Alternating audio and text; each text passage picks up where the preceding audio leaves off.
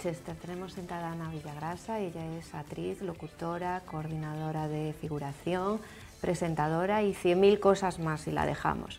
Compartimos eh, las ondas hercianas en Radio Bradoiro, pero hoy está con nosotros en nuestro plató para recordar toda su trayectoria, hablarnos de moda y sobre todo contarnos esos planos que comparte con José Coronado y Alex González. ¿Qué tal, Ana? Pues muy contenta de estar aquí, de reencontrarnos después de todo este tiempo. Es un lujo volver a la que en su día también ha sido eh, pues, eh, su casa y sobre todo bueno que me recibáis con este sofá tan fantástico y con esta compañía inmejorable. Dijimos, aquí vamos a sentar en el Chester que nos quede mona. Ana Villagrasa. bueno, bueno, siempre te rodeas muy bien, ¿eh? estaba el listo muy alto, muy alto. Pues encantada porque es verdad que Ana y yo compartimos una etapa profesional de nuestra vida hace muchísimos años, estábamos aquí recordando muchas cosas que, que hicimos juntas y ahora te vemos muy bien acompañada los lunes por la noche. Pues estoy muy contenta porque ha sido toda una sorpresa para mí. Bueno, mi vida desde entonces ha pegado un montón de giros que afortunadamente pues eh, eh, están llevándome a compartir, como tú bien sabes, eh, ahora mismo pues algún papelito pequeñito en alguna serie ya a nivel nacional, como es el de Patricia, ahora la secretaria de Alex González, y, y es todo un lujo y algo inesperado, porque yo realmente en esa serie iba a trabajar exclusivamente detrás de la cámara y mi videobook pues aterrizó y bueno, fue una sorpresa para todos y me lo pusieron fácil los de la productora para que pudiera compaginar, ¿no? Está muy bien, de repente te vemos detrás de la cámara, pero también verte delante con ese Patricia que de repente haces así y dices, pero sí es Ana. Anita y Patricia, muy profesional ella, ahí en OpenSea. Y eso que me falta quizás mi sello, ¿no? porque la gente siempre me, me, relaciona con la sonrisa, pero no, Patricia todo lo contrario, seria, correcta, siempre muy leal a, a su jefe, pero bien, la verdad es que mucho éxito está teniendo la serie, que dure así, crucemos los dedos, grabándose ya una segunda temporada. Bueno, ¿qué te voy a contar, Ana? Pues la verdad que sí. Bueno, te seguiremos viendo en esa serie también acompañada por José Coronado y por Alex González. Pero ¿cómo era Ana Villagrasa cuando era pequeña? ¿Apuntaba maneras? Bueno, pues eh, me has mandado a traer una recopilación de alguna fotografía y no sé si veías pues, eh, una imagen donde estaba Ana ya en una pasarela, era para Pili Carrera de entonces, eh, fue la primera vez que yo me subí a, a un escenario y bueno, fue porque pues, mi madre era clienta de Pili Carrera y Pili le dijo que le gustaría que estuviera ahí empecé a, a, desfilar con cuatro añitos y bueno, podrás ver que mientras que la de atrás estaba llorando, Ana ya se, con su globo paquete de caramelos y dijo, esto me encanta, ¿no? Entonces, bueno, pues eh, quizás esa primera toma de contacto ha hecho que pierda ese miedo a lo mejor a subirme a un escenario, que siempre tenemos ese gusanillo que te, que te voy a contar, mm. Pero sí que ese contacto con el público que me da tanta vida, porque a mí sí me dicen qué es lo que eh, más te gusta, ¿no? Estar con la gente, socializar, o sea, esa es mi pasión, ¿no? Y me la ha dado, fíjate que hasta cuando he trabajado en radio he querido siempre tener la participación de la audiencia, porque para mí era importante sentir esa voz a esa gente ahí al otro lado y, y me he sentido muy querida y me sigo sintiendo querida, ¿no? ¿Te gustaba de pequeña ya la ropa, supongo, no? Aquí no. Bueno, bueno, Disfrazarte, la ropa... Pues fíjate, mi primer disfraz eh, fue de, de, de, gatita y tenía 7 meses y 23 días. Imagínate lo que ha sido para mí ya disfrazarme, pues eh, que ahora me disfrazo de Patricia, de la secretaria, y bueno, cada vez que tengo oportunidad decirte, que aunque no te lo creas, luego te lo demostraré, que ya tengo en mi móvil el disfraz de este, de este año 2019 seleccionado, o sea, es... No me lo puedo creer, yo que soy antidisfraces. No Tienes que venir un día conmigo en carnavales y te hago cambiar de idea, te lo pasas fenomenal. Ana. Bueno, me lo voy a apuntar, ¿eh? no vaya a ser. Y entonces sí, ligado a... Siempre me ha gustado mucho eh, la ropa en general, no soy una consumista, tampoco no compro por comprar, pero sí que dentro de lo que son las tendencias, de lo que marca pues un poco esa línea que ha cambiado tanto desde entonces hasta ahora, intento ponerme aquello que pues mejor partido podamos sacar, porque no somos perfectas. Unas tienen pues eh, mejor parte de cuerpo que otras, intentamos sacar un poquito lo mejor de, de, lo que tenemos, que quizás es lo, lo importante. Bueno, es que me estaba acordando que me dijo, yo si cambiase algo de mi cuerpo, cambiaría los pies. y eso me hizo mucha gracia. Sí, sí, sí. Eh, hubo una vez en una entrevista me preguntaban, eh, Ana, si tuvieras que operarte, ¿de, qué lo harías? ¿no? dije yo, de los pies. Entonces todo el mundo dijo, es que es la, única, la última parte del cuerpo que me, me habría pasado por la cabeza. Y el motivo no es otro que aquí donde me ven soy pequeñita y tan pequeñita como mi pie, ¿no? porque me apasiona el calzado. El calzado, los bolsos, quizás el complemento es lo que más me, me pueda gustar y calzo un 34,75. Especialista, que nos salió la niña, especialista. Y para encontrar calzado es muy complicado, tengo que ir a marcas muy concretas, eh, me veréis a lo mejor el mismo zapato en distintos colores porque encuentras sí, Y en la sección de niños. Ahí lo tengo, tengo suerte con las zapatillas, ¿no? Porque mm, pago menos y tengo pues para bailarinas y para tal tengo que ir a la sección infantil, eso es cierto. Y luego con tacones sí que lo tengo complicado, de hecho creo que hasta mm, a mí me duelen más los pies que a los demás porque yo creo que voy con los dedos así agarrando el zapato constantemente o tengo que llevar eh, de pulserita, un poco como podemos, Ana. Bueno, te veíamos, nos contabas que cuando eras niña ya te gustaba, apuntabas maneras y supongo que también en la adolescencia ya una se plantea dar ese paso, ¿no? Empiezas a presentar mis eh, bueno, pasarelas, eso realmente fue una lotería. Eh, sí es cierto que yo ya en, bueno, yo soy de Vigo y sí es cierto que ya en el colegio pues yo hablaba mucho y era muy chapalante, entonces eh, había pues lo que es el DOMUM y ya pues me decían, Ana, vas tú por las clases para eh, convencer y animar al resto de compañeras que en el DOMUM que se vuelquen, ¿no? Y hubo una, de aquella llamábamos madre, ¿no? Una madre que, que, que me dijo, Ana, tú serás o artista o política. Entonces eh, dije yo, ups, me, gusta más lo primero. Casi que me llama más. Casi que me, llama, más, ¿no? Y sí es cierto que eh, luego por motivos laborales de mi padre, yo viví una etapa en la zona del Salnés, a la que adoro y que además he tenido con la serie la suerte de volver, a reencontrarme a esa zona donde nos tratan, nos quieren y nos miman en los rodajes y en el día a día. Yo me he sentido como en casa. Eh, bueno, pues yo viví en Cambados y sí que empecé en el colegio a hacerme, en el instituto, perdona, a hacer las presentaciones, eh, yo también cantaba, gané el karaoke de Telecinco que iba por los pueblos cantando en Vila García de Arousa y, a raíz de eso eh, me llevaba muy bien con el alcalde, ¿no? Y me, llamaba, de hecho, eh, Antoñita la Fantástica, y me decía, eres la Conchita Velasco del Salnes. Va a haber un concurso de Mis Cambados y quiero que vengas. Y yo, no, me da mucha vergüenza, ¿dónde voy yo con mi metro 63 sin tacones? O sea, yo no hago nada de mis. No, pero esa puerta cerrada, nadie se va a enterar allá me voy y dije, total, no voy a salir, nadie se va a enterar, hago bulto y queda muy bien. Una vez que eres elegida mis, eh, mis cambados, te tienes que presentar a mis salnes. Y ahí ya es, claro, donde hay una pasarela en la plaza, donde todo el mundo te ve, y con la fortuna o no sé lo que pasó ahí, que fui elegida eh, mis salnes. Vino el Faro de Vigo, me hizo una entrevista y a raíz de esa entrevista contactó conmigo el que fue eh, y es director de Telesalnés. Y me ha dicho, mm, Ana, como Miss Salnés me gustaría que hicieras una prueba para la televisión. No había hecho eso en mi vida, Ana. Y allá me lancé. ¿Y qué hice? Un concurso de karaoke. Bueno, va mucho contigo, ¿eh? que yo te he visto presentar concursos de karaoke a dar, a dar y tomar. Y gracias al karaoke, pues eh, eh, la trayectoria que he podido conseguir, porque mm, después compaginé con radio, inauguraron la radio del Salnés con Perfecto Sanjiao, que me enseñó muchísimo de radio, a grabar cuñas publicitarias, vamos, eh, como churros, como digo yo, le debo mucho.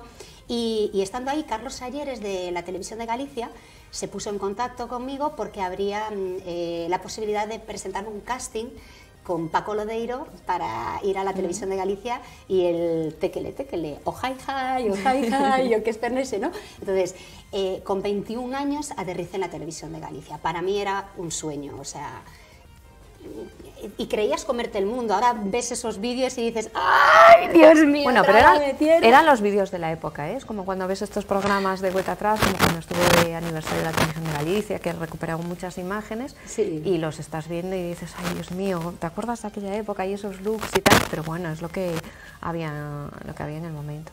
Bueno, que yo recuerdo, esto así como anécdota, a Ana Villagrasa, yo, aquí donde nos ves, yo que canto fatal, no, lo siguiente, cantando un villancico, yo haciéndole los coros a Ana eh, un villancico para Radio Obradoiro, en el, donde coincidíamos las dos, y, y me acuerdo a Ana Villarrasa cantando, dime niño, ¿de quién eres? Es que me acordaré toda la vida, dime niño, mira, es que hay una anécdota buenísima, ¿no? Era cantando, dime niño, ¿de quién eres? ahí muy profesional ella, le doy el fa, el la, que tono quieres, y todos allí hacíamos los coros Ana. Claro, la pobre ahí aguantándonos cuando íbamos con la tropecientos mil, 325 veces que repetíamos el dime niño de quién eres, salió uno de los que estaba en el coro y digo, pero vamos a ver, hombre de Dios, que el niño vaya diciendo de quién es y si no tampoco pasa nada.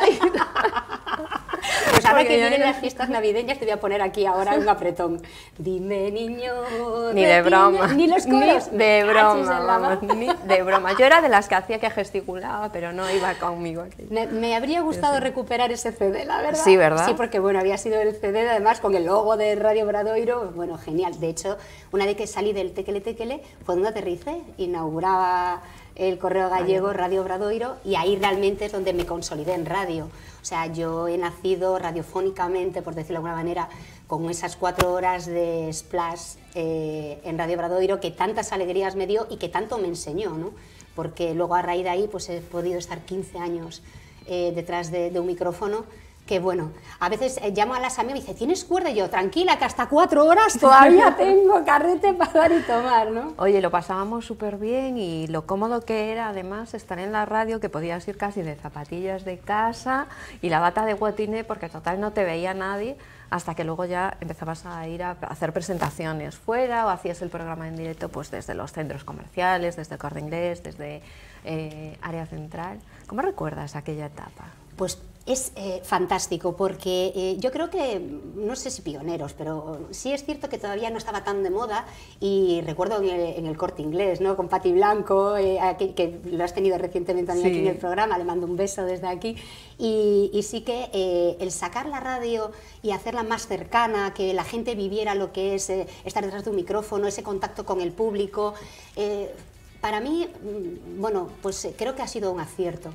Y, bueno, hablábamos ahora con José Antonio, veintitantos años después, director de, Radio Bradoiro, y él sí que siempre decía, Ana, tira de la gente, que la gente sea realmente el motor del programa. Y creo que eh, ese consejo que me ha dado y que he continuado, pues eh, ha hecho que quizás haya sido tan feliz haciendo pues eh, los distintos trabajos que, que, luego bueno, siempre han sido en contacto con el público. Bueno, tirando de la gente hasta ser coordinadora de figuración en series, que tienes que tirar de todo el mundo. ¿A cuánta gente, a cuántos figurantes tiráis ahora en, en Vivir sin Permiso? Bueno, pues yo como coordinadora de figuración estuve eh, lo que fue toda la primera temporada y aparte de tres mil y pico personas que se presentaron al casting, que enviaban diariamente al correo electrónico para poder participar, eh, más de 2.000 figurantes en la primera temporada pasaron por, por la serie.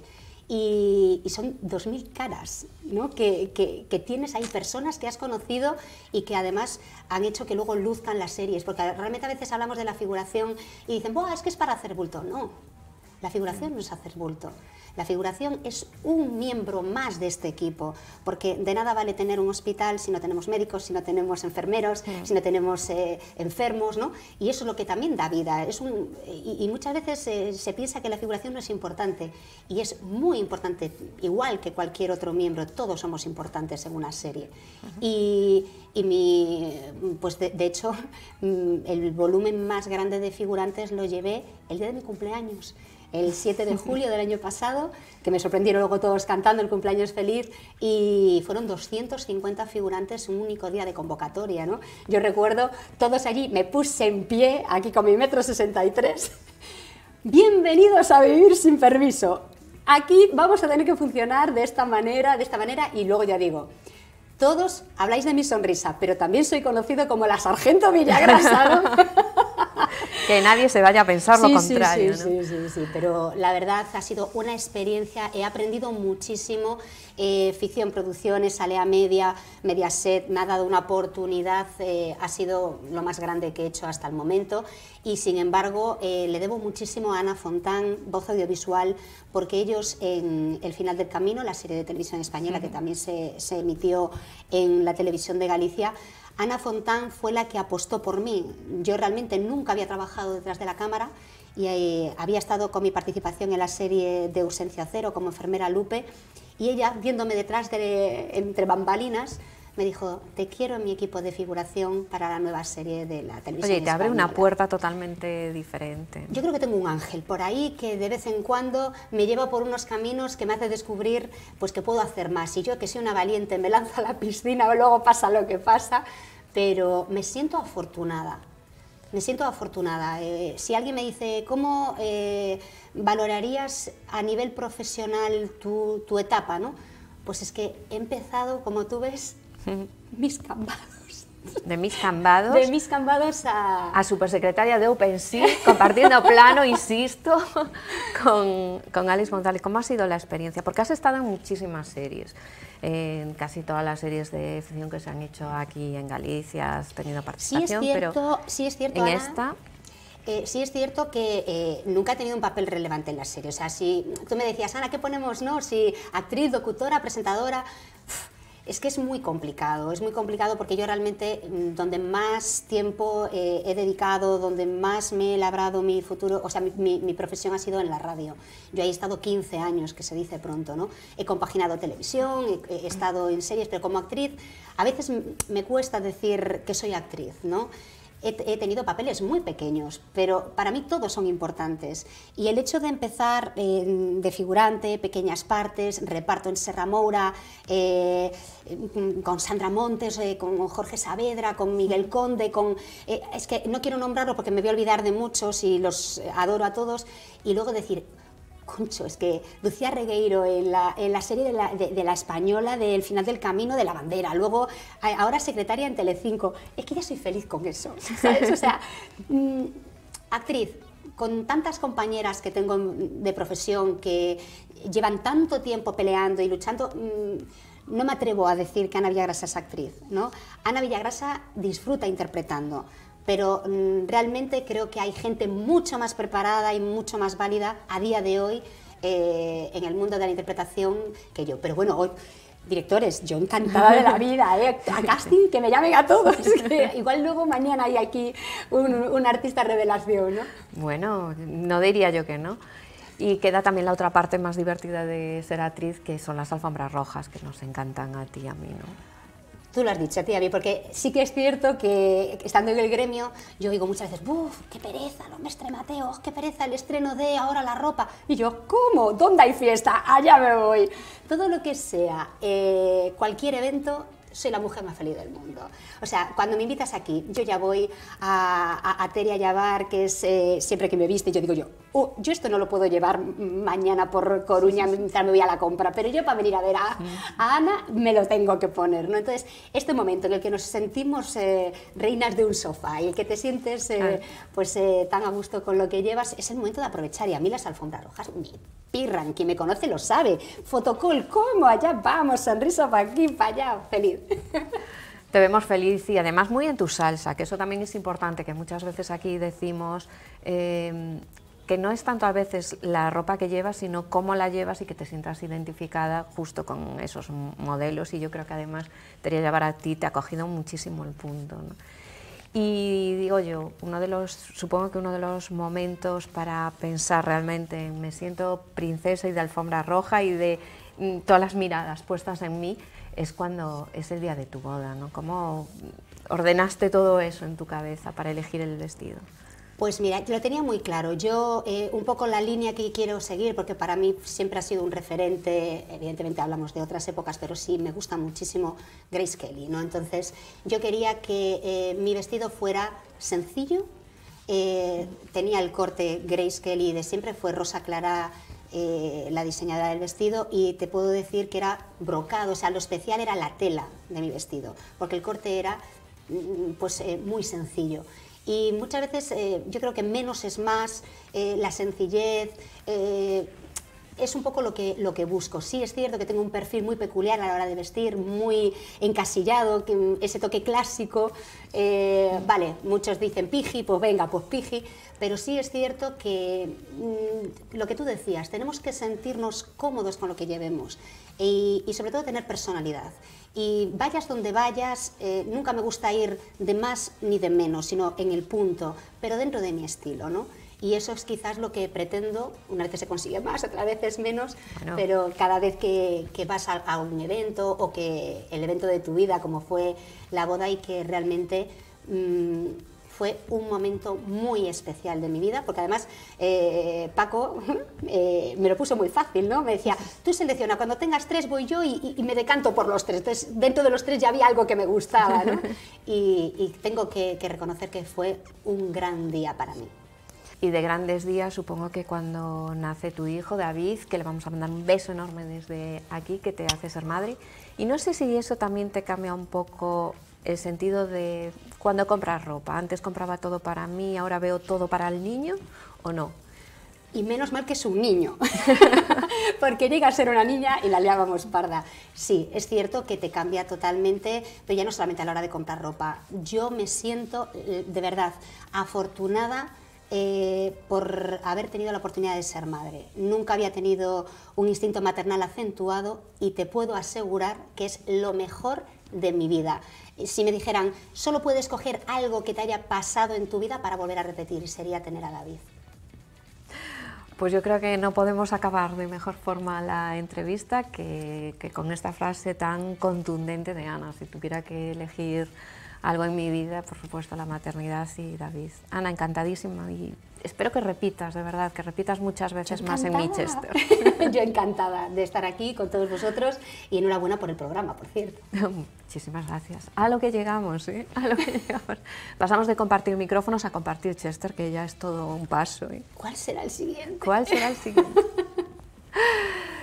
Pues nosotros no sé si la vida nos, seguro que sí nos lleva a más cosas compartidas, pero de momento a mí con quien me toca compartir plano es con Natalia Alcaide y esa mirada que nos trae todas las semanas.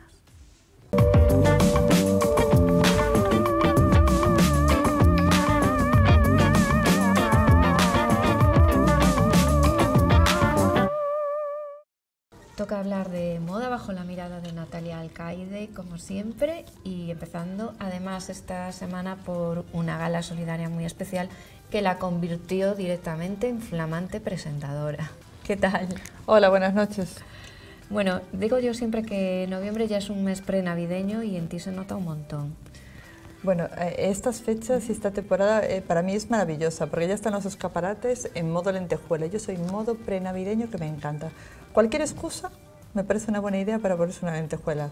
Imagínate cómo venimos hoy nosotras dos. Voy a disimular mi aire Grinch, que lo tengo, porque yo soy la anti-Navidad. O sea que de aquí a que llegue la Navidad vamos a estar bastante bien tú y yo, así con opiniones encontradas. A mí me gusta el modelo navideño, pero no la Navidad. Eso es otra historia. También tengo mi lado ahí rayante que digo, ay Dios mío, pero bueno, lo que es vestirse sí que me gusta. Me mm. gusta siempre, cualquier excusa. Bueno, pues Natalia decía que fue presentadora junto a José Gerardo, que le voy a mandar un beso enorme desde aquí, porque presentaron la gala solidaria Alas en tus pies de la Fundación Galicia, Amigos de Galicia, y todo un exitazo.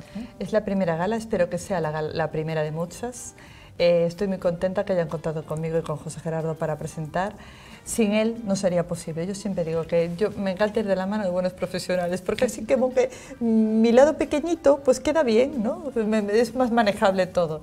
Eh, en serio, él ha hecho un guion maravilloso, me he sentido muy cómoda, me gusta mucho esa faceta, ya te digo, sobre todo por ponerme un vestido largo y aprender mucho, porque cada día es un aprendizaje. Yo aprendo contigo todas las veces que vengo, porque la mitad, bueno, vengo así medio, medio como vengo yo siempre, con, con ganas de aprender muchas cosas. Esta gala pues es, la, una gala a favor de la infancia, está eh, en colaboración con la Real Academia de Medicina y Cirugía de Galicia. Es la primera, como te decía, eh, espero que sea de muchos, porque la infancia lo necesita, es una causa muy, muy necesaria, hay muchas necesidades que hay que cubrir. Eh, es, es, para a favor de la, la, la, Fundación Amigos de Galicia, porque la recaudación servirá para financiar la ayuda a más de 30.000 personas, un 50% de niños y niñas de, de, nuestra comunidad autónoma, que es lo que yo siempre digo, que no hace falta mucho, que es necesario todas las ayudas. Que es verdad que a veces miramos un poco hacia afuera y nos olvidamos de lo que tenemos más próximo y que yo siempre lo digo y me gusta recordarlo y lo, seguramente lo recordaremos muchas, muchas veces más aquí en el programa, que muchos pocos hacen mucho, ¿no? Por supuesto que sí. Y que hay que colaborar y sumarse a todas las causas. Tú aportando tu granito de arena y muchísimo glamour con ese super modelazo. Por favor, quiero ese vestido en mi armario. Pues cuando quieras. Nos vestimos con esos vestidos. Mira, yo estoy encantada, pues un vestido precioso. Es de la colección invierno 17-18, otoño-invierno de Jorge, de Jorge Vázquez. Es un premio que se ha llevado ya en varias, eh, en una alfombra roja, que ha sido uno de los mm, vestidos más elegantes que lo ha llevado una actriz en Osemi, y mm, lo he llevado yo en una gala tan maravillosa como esta, y es una auténtica joya. Es, eh, eh, todos los bordados en dorado, es la pieza eh, superpuesta uno a uno, es una maravilla de vestido. Bueno, yo me he encontrado muy cómoda porque mm, a mí me gustan mucho esos vestidos que te aportan movimiento y haces frufru, como cuando éramos pequeñas imitábamos a las bailarinas de ballet en el espejo, pues yo tal cual. Lo que me gusta en espejo y manejarme con este brilli brilli todo el rato. He buscado un zapato cómodo a modo de sandalia, que ya también estaba bordado con las mismas flores, y un clons con una flor en dorado. Eh, quisiese haber a lo mejor atrevido un poquito más, puedes meterle, por ejemplo, o ponerle un zapato verde o un zapato rojo que quedaría espectacular. Pero bueno, como el vestido ya era bastante mm, especial, dije, pues mm. no voy a ir a, pongo color o cualquier otra ocasión. Ha sido muy, un vestido muy bonito, una noche muy especial. Yo quiero agradecer a todos los patrocinadores que han hecho... Eh, que esto sea posible y que esos niños que, que, volvemos al tema, esos niños pues que necesitan muchas veces medicamentos, que lo que la situación que nosotros podemos encontrarnos, tirar a farmacia cuando necesitamos algo, hay mucha gente que no, que no puede, una cosa tan, tan básica que es y fundamental para, para la salud infantil y, y, sobre todo ayudarles en esta gala pues, pues que, su familia también tenga las necesidades y estén cómodos pues para atender a este tipo de niños que tanto nos necesitan en la infancia. Pues el mensaje está claro, hace falta ayuda, ayuda a diversas causas y muchas veces a los que tenemos más cerca, no, no hace falta mirar tan lejos porque todo, toda la ayuda es necesaria a veces eso, más cerca de lo que, de lo que imaginamos. Y ya en la parte más frívola, súper modelazo de Natalia Alcaide, pero a mí me gustaría también hablar de que llegan muchas galas en estas épocas, porque llega la Navidad y parece que todos tenemos que sacar nuestro lado más solidario. Y entonces yo me pregunto, ¿cómo se viste adecuadamente? ¿Cómo se hace ese outfit perfecto para ir a una gala solidaria de este tipo? Primero, no vamos a entrar en pánico. Porque yo creo que todo el mundo te, invita, vamos a ir a una gala, em, ¿qué es lo que me pongo? No, no, no, vamos a tener con cuidado de leer muy bien las invitaciones. Yo siempre digo, eh, los eventos generalmente se, se, realizan de noche, ¿no? Es una etiqueta, es un black tie. Y hay unas recomendaciones muy básicas que, bueno, aquí tenemos, ya dedicaríamos un programa entero a hacer cómo, cómo vestirse, pero vas a hacer un dress code eh, de un protocolo de vestimenta social muy básico. Por ejemplo, hay el de etiqueta. El de etiqueta es el formal. Es el formal, por ejemplo, eh, son las ceremonias que son como más gubernamentales, como bodas, como muy elegantes, como ópera. Imagínate, nos invitan a la ópera. Entonces sí utilizaremos este protocolo de etiqueta muy, muy formal, que es eh, la mujer, yo le aconsejo siempre un vestido largo hasta los pies, el pelo, el cabello siempre recogido, en este caso siempre, el, un clutch y zapatos de tacón. Ahí ya entramos en el gusto de sandalia o, o, zapato cerrado. Y el hombre, pues evidentemente va a ir con un frac, una camisa, un corbata y zapatos. Ya es más fácil, pero ya te digo, son pinceladas muy, muy concretas. Después está el descode de, de gala, que, ¿no? que, soy, que es menos formal, que son para las graduaciones, que yo he ido el año pasado también a varias, eh, las bodas de noche. Graduaciones, voy a hacer un apunte para cuando llegue la época de las graduaciones allá por, primavera y dedicar varios programas porque es una asignatura pendiente que tenemos siempre, que siempre la tenemos ahí. Pues eh, las graduaciones, Apúntate, graduaciones. graduaciones nos apuntamos ahí, ¿eh? porque hay muchos fallos, ¿eh? muchos fallos. Nos, nos, nos, equivocamos que vamos a, a, recibir un título y no vamos de fiesta de noche discotequera, que también puede ser después, pero a posteriori, primero vamos a recibir el, el, título, por ahí me lo apunto. El, el, menos formal, por ejemplo, es el vestido largo, con, también puedes llevar las forfas de los pantalones, un mono de dos piezas, un recogido o semi recogido, ya sería zapatos y bolso. El hombre llevaría smoking, traje, camisa, corbata o pajarita a elegir o sea que tiene también opciones divertidas. El dress code semi-formal ya es, ya es más eh, vestido largo, pero más casual, zapatos y clans. El hombre siempre traje oscuro, por favor, para la noche yo intento que, o smoking, pero bueno, ya traje oscuro seguramente tendrán todos. Y después el dress code de cóctel, que yo no sé qué le pasa a todo el mundo, que el cóctel lo asocia a cualquier tipo de galas. No, tú una gala como esta, como la que yo, no puedes ir de cóctel. El cóctel es el, más recurrente porque es el que más utilizamos todos, pero es para una fiesta tipo eh, comunión, bautizo, una boda de día. ¿Qué tendrá que ver una boda de día, por ejemplo, con una gala de noche? Entonces el, el cóctel, que es el más recurrente, vamos a dejarlo para el más común quizás. Que ahí puedes llevar un vestido corto de fiesta, cuidadito con los cortos también, no vamos a a llevar todo al extremo, un peinado que pues más, informal, más elegir, más divertido y el tacón. El hombre seguiría llevando traje de corbata, pajarita elegir eh, y tirantes, que es una, anécdota muy divertida para ellos y es un modo más relajado. Ahí te puedes jugar más eh, con, con, las tendencias, más con el color, pero el resto, por ejemplo, una gala como esta, un cóctel, ya hay una variación bastante importante. Tendríamos que ya puntualizar muchísimo ya en eso, ¿eh? para no cometer eh, terrorismos estéticos que se cometen mucho. O sea, dime, no, y el dress code festivo, ¿Y ese ya lo dejamos ya para las navidades, el mundo navideño, el reno y todo eso que quieras poner en un programa especial. Sí, sí, sí, sí, no vamos a agotar temas. Bueno, llegan las galas, lo primero es leer bien las invitaciones que llegan y las tarjetas, porque en muchas ocasiones ya te orientan sobre ese dress code que deberías seguir. Y si no, bueno, Mm, llamar por teléfono, llamar y preguntar, mira, no me pones el dress code, ¿qué es lo que tengo que llevar? Y es, eh, preguntando es lo más seguro. Y si no, pues arriesgate y vete como te apetece, teniendo en cuenta el sitio donde se celebra, la hora y el tipo de evento que es. ¿no?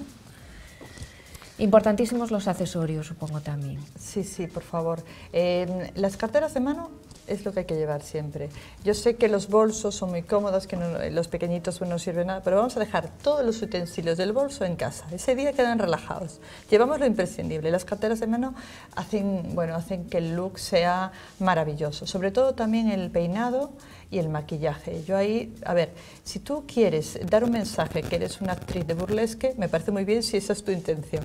Pero si no es tu intención, no metas la pata y procura pues ir un, un maquillaje comedido, los accesorios más comedidos. Está muy bien ser actriz de burlesque, a mí me encanta, me parece lo más, pero dentro de su contexto, ¿no? Eso es una broma que todo dentro de su contexto es entendible, pero por ejemplo cuando vas a un sitio donde la, mayor parte de, la gente pues tiene una condición social o es más mayor o el, el, entorno es mucho más elitista o más social, pues no puedes ir a lo mejor como una dominatriz, en este caso, que podría ser divertido, pero lo dejaríamos para otra ocasión. ¿no? Entonces, quiero darle un toque también divertido para que no sea serio, porque mm, la moda es divertida pero también tiene un lenguaje muy poderoso y tenemos que llevarlo a cada sitio. ¿no? Eso ya por eso desde aquí ruego un poquito de sentido común nada más. Pues sentido común, rogamos desde aquí y vamos a ir todo lo contrario, vamos a echar mucha imaginación a la tendencia que trae Natalia hoy, porque va con el animal print. Lo que me gusta a mí, ¿verdad? Es que, es que no, no puedo. Pasa. Mira, hoy lo he traído todo. No puedo con el animal print. El animal print, la lentejuela, el fleco, hoy lo llevo todo porque hay que arriesgar. En Animal Print es muy bonito, es una tendencia que viene año tras año, pero yo lo que quiero es dejamos el modo leopardo ya un poquito aparte. El modo leopardo, para se dé cuenta, es este abrigo que tengo a mi espalda. El modo leopardo está muy bien, pero ya lo hemos visto y está como... Mm, vamos, vamos a dejarlo reposar. Ahora vamos al modelo tigre lo que nos gusta un tigre. Mira, es que el modelo tigre, además el modelo tigre es muy divertido porque es diferente, es refrescante. Es eh, el modelo que es como una, una raya más eh, en, tonos, en tonos naranja, es ideal para combinarlo con los marrones, con los burdeos, con los verdes. El modelo tigre es más divertido quizás. Después está el modelo cebra, el modelo cebra, bueno, el modelo cebra mm, también. Es un poco difícil de llevar el modelo. Ese es el modelo vaca. El modelo vaca es incluso más difícil.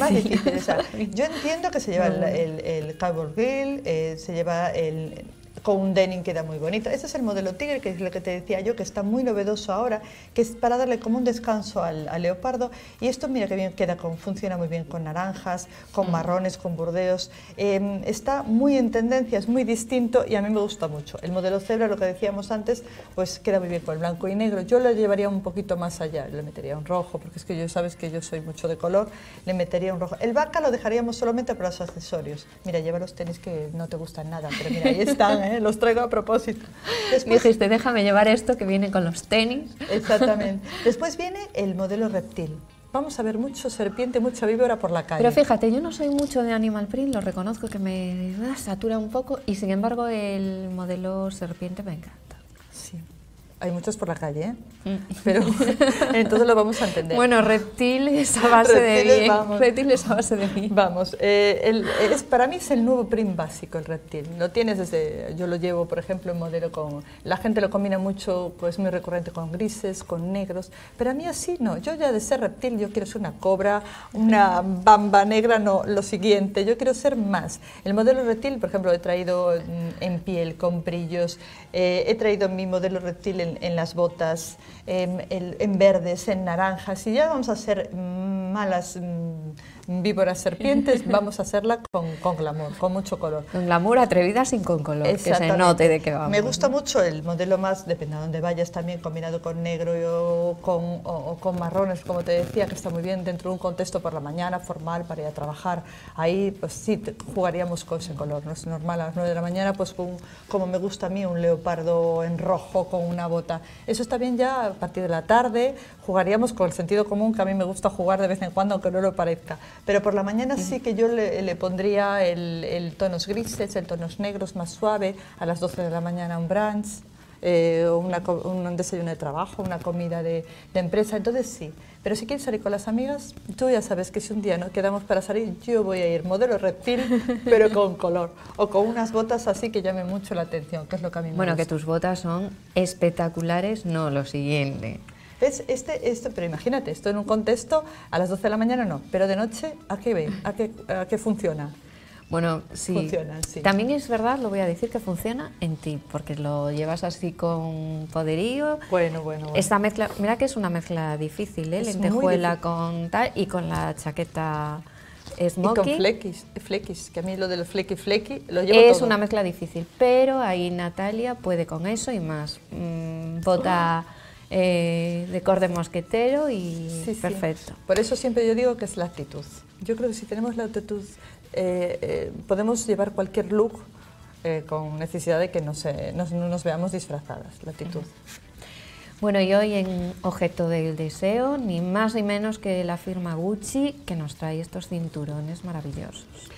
¿Eres tú muy de cinturones? ¿Sí? Me encanta, pero además lo traigo porque esta temporada los cinturones como, como vienen como como una locura, es como un objeto de deseo, todo el mundo ha, querido este cinturón.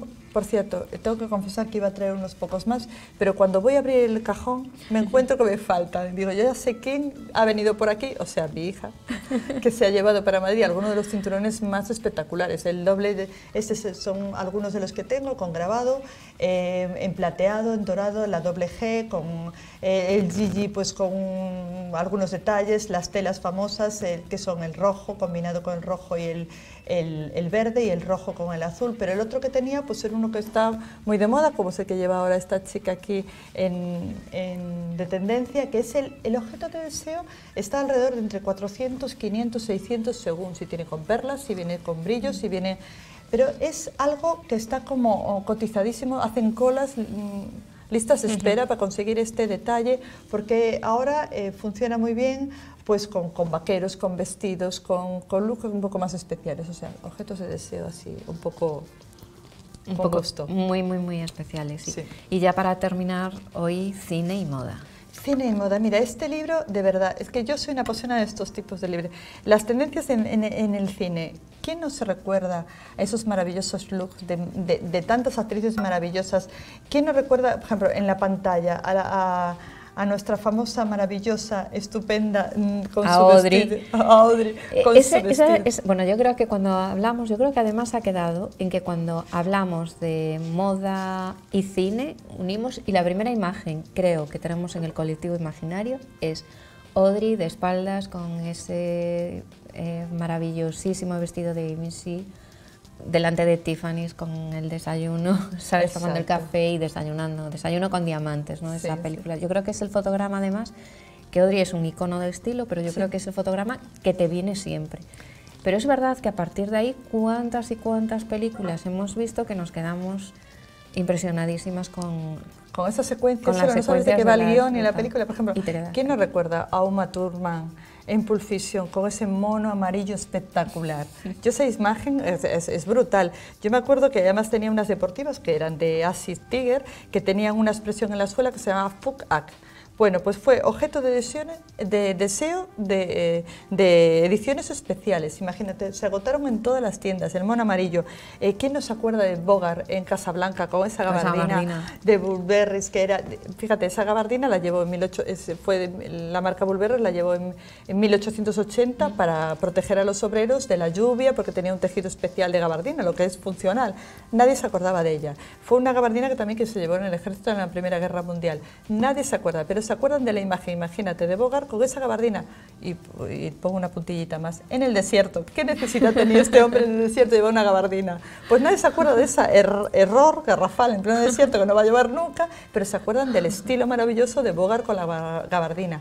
Por ejemplo, Tom Cruise en Top Gun ¿Qué sería él en, aquella moto maravillosa, sin aquella cazadora de bomber maravillosa, con esas gafas ray que fueron agotadas automáticamente a partir de la película, esas ediciones especiales que se hicieron de Ray? ¿Quién no se acuerda de esas, tipo, las botas mosquetero de Pretty Woman?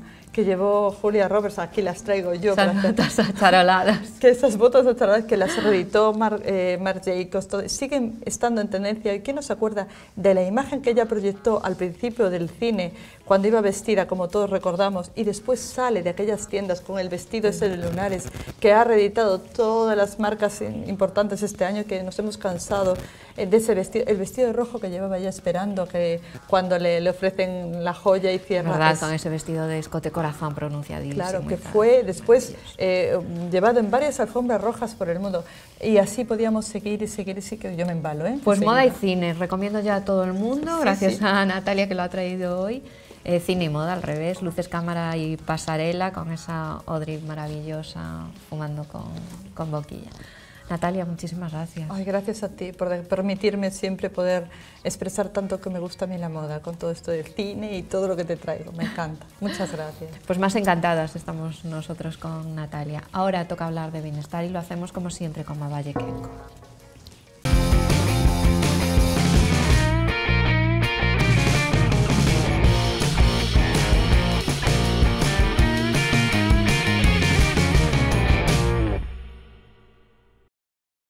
Tiempo para hablar de bienestar, como siempre, nos lo trae Mavalle Kenko. ¿Qué tal? Hola, Ana, ¿qué tal? Buenas noches a todos. Hoy te veo muy deportiva. ¿Deportiva? bueno, bueno, tampoco tan deportiva, ¿no? Te veo medio camino, te veo medio camino. Estoy acostumbrada a verte ya de deporte y estoy acostumbrada a verte de rock and roll. Pero hoy pues te veo así como a medio camino. Bueno, hemos... Eh, novedoso, novedoso. hay que cambiar un poco, ¿no? Pues mm, vamos a cambiar un poco también a la hora de realizar nuestra rutina diaria deportiva y vamos a hablar de una nueva rutina de boxeo. ¿Qué te parece, Ana? Me parece maravilloso. Yo que estoy ahora súper mega metida en defensa personal. Ah, claro, que te vi algo. Algo de eso te he visto. hago defensa personal. Bueno, pues esto es... Con mi monitor Kike, un beso enorme desde aquí. Gimnasio Hércules, le voy a hacer ya la cuña. Claro, eso tiene que ser así. Y es maravilloso, así que lo del boxeo me interesa muchísimo. Voy a prestar atención a todo lo que dices. Pues vamos allá. Eh, bueno, vamos a cambiar un poco, correr, el gimnasio, por algo un poco más divertido, ¿no? Cambiamos rutinas, cambiamos la motivación y vamos allá, vamos a boxear. Eh, hace unos años se puso muchísimo de moda eh, el boxeo, empezó todo el mundo a practicarlo como loco, lo empezaron a incluir en los gimnasios, en en las clases de kickboxing, eh, bueno, unos guantes, música y bueno, es una manera distinta de, mover el cuerpo. Yo quería contaros un poquito la cantidad de beneficios que tiene el boxeo. A mí me encanta, yo lo incluyo muchísimo en mis entrenamientos. Hay algún entrenamiento express que hago que combino boxeo con otras técnicas que ya algún día os lo traerá. Y yo quería contaros un poco la cantidad de beneficios que tiene. Bueno, efectivamente todos sabéis que es un ejercicio cardiovascular brutal. Quema casi unas 750 calorías, porque no solamente es boxear con, las manos, con los guantes, con las guantillas, con el, con el punching, simplemente eh, es mucho más. Se complementa con comba, con ejercicios en el suelo y bueno, eh, la cantidad de calorías que quemas es brutal y es súper bueno para adelgazar. Y también lo que nos hace es que nuestro estado físico, nuestra resistencia aumente. Eh, a la vez también eh, fortalece todo nuestro sistema óseo. eh, los ejercicios de impacto hacen, estimulan que nuestros huesos se hagan más fuertes. Como podemos comprender, evidentemente la coordinación y los reflejos aumentan y tonifica el cuerpo entero y reafirma el cuerpo entero. ¿Por qué? Porque no solamente eh, usas los brazos, los hombros, sino toda la zona de la cintura con los giros, los abdominales, los glúteos y las piernas, porque estás en flexión y con giros de cadera constantes. Evidentemente todos sabemos que libera el estrés, es muy desestresante. es muy, desestresante. Y las tensiones, y como bien ha dicho Ana, nos ayuda a defendernos. La coordinación que se adquiere con el boxeo es brutal. Así que vámonos todos al gimnasio, vamos a boxear, vamos a buscar a alguien que nos enseñe, porque la técnica no es nada fácil, mm. es bastante difícil pegar un buen puñetazo con el hombro, girando la cintura, y bueno, es súper divertido. Y luego lo combinas, pues eso, ya lo que he dicho, con un poquito de comba, con flexiones, música a tope. Y bueno, es una manera distinta y motivadora para mover el cuerpo y reafirmarlo entero. Bueno, pues a mí me tienen súper convencida lo del boxeo y no sé si me convencerá tanto estos trucos de maquillaje que traes hoy. Que traigo hoy. Bueno, más que trucos de maquillaje, yo quería hablaros hoy de la importancia eh, de las cejas.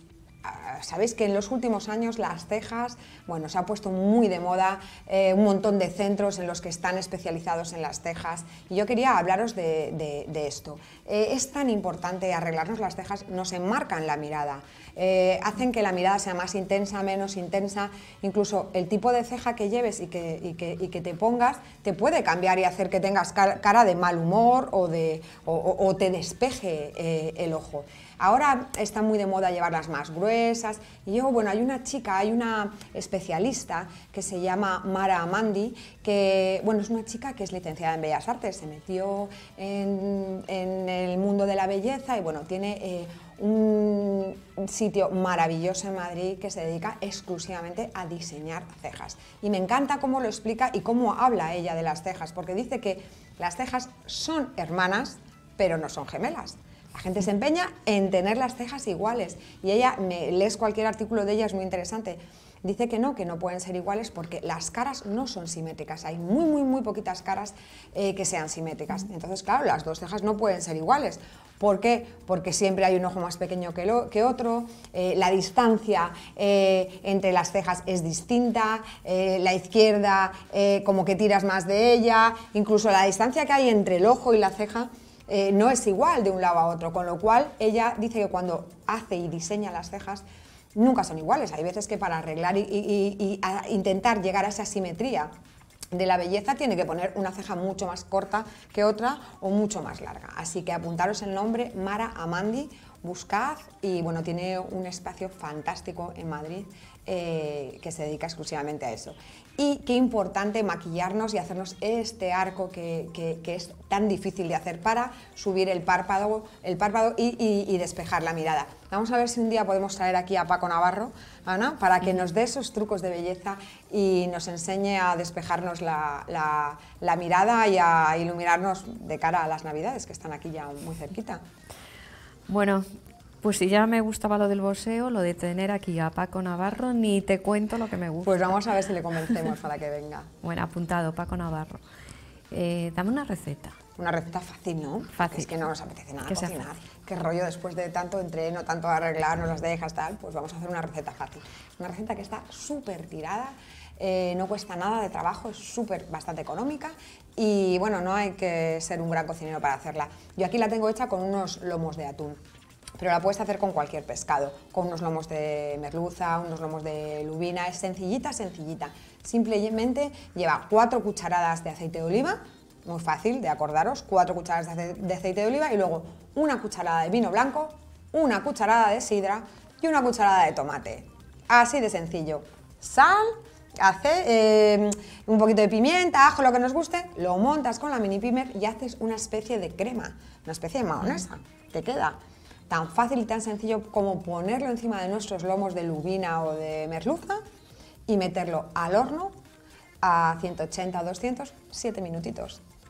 ¿Qué más queremos? esta me ha convencido muchísimo. Te veía, hoy tienes, Ana, hoy tienes una estaba- sección, hoy tienes una sección. Te estaba mirando, la estaba mirando y estaba como así, digo, cada vez me está haciendo más, va a hacer los lomos de merluza.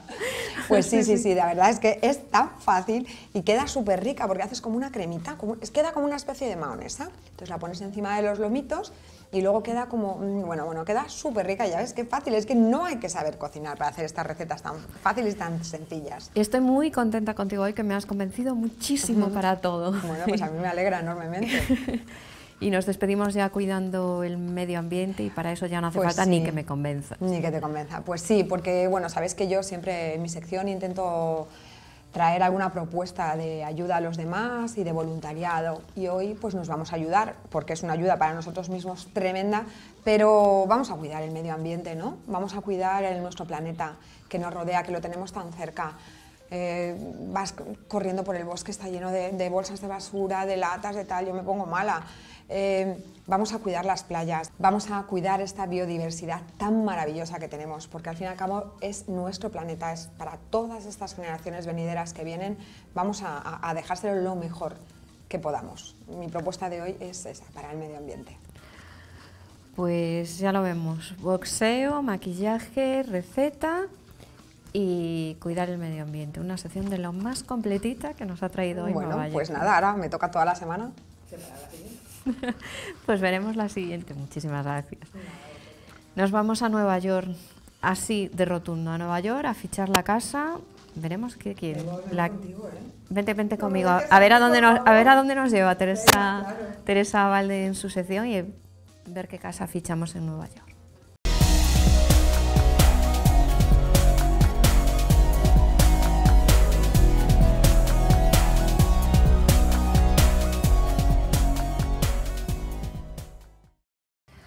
Hoy nos vamos a Nueva York y lo hacemos con Teresa Valde y la fantástica casa de quién. Pues de Julianne Moore, la superactriz que me encanta y quería que vieras esta casa porque me parece fascinante, me gusta muchísimo. Estamos muy de casas de mujeres. ¿Te das cuenta que las tres casas que te he traído esta temporada, tres casas de mujeres? Tres casas de mujeres que además yo creo que las tres coinciden, son totalmente distintas. sí. Hemos visto la de Carly Close, la de Agatha Ruiz de la Prada y ahora la de Julianne Moore. Y creo que si vemos a Julianne Moore y vamos viendo su casa, vamos a darnos cuenta de que es- se identifica muchísimo con esa imagen que tenemos ¿Verdad? de ella. Sí, porque tiene un punto como ¿Verdad? sofisticado y elegante, pero al mismo tiempo como un punto como, no sé cómo decirte, como relajado también, como este rollo de effortless chic, ¿no? Como de que es chic pero sin esfuerzo, que esto me encanta, es un concepto que me chifla a mí ¿eh? por siempre. Pues mira, esta es la fachada de la casa, que es maravillosa, y uno de los salones. Entonces, eh, quiero que veamos, porque hay una cosa muy interesante de esta casa, que es que ella ha tenido que re-reformar la casa. O sea, ella cuando compró esta casa, la casa estaba dividida en apartamentos, era un edificio de apartamentos, y ella lo convirtieron en una casa unifamiliar. Entonces, si vemos la siguiente foto, please, Iria.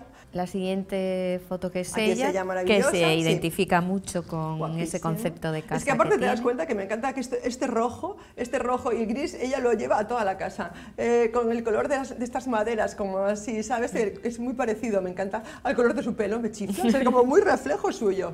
Eh, y entonces estamos viendo una zona de su salón. Ups, ha pasado ahí. Esta es otra zona del salón que es que es la típica casa que vemos aquí también muchas veces en la zona vieja de Santiago, hay muchas casas de ese estilo, que son como estrechas. Lo que no tenemos en la zona vieja son esta cantidad de luz en las casas, pero la configuración, o sea, la distribución podría ser así, con, con estancias un poquito estrechas.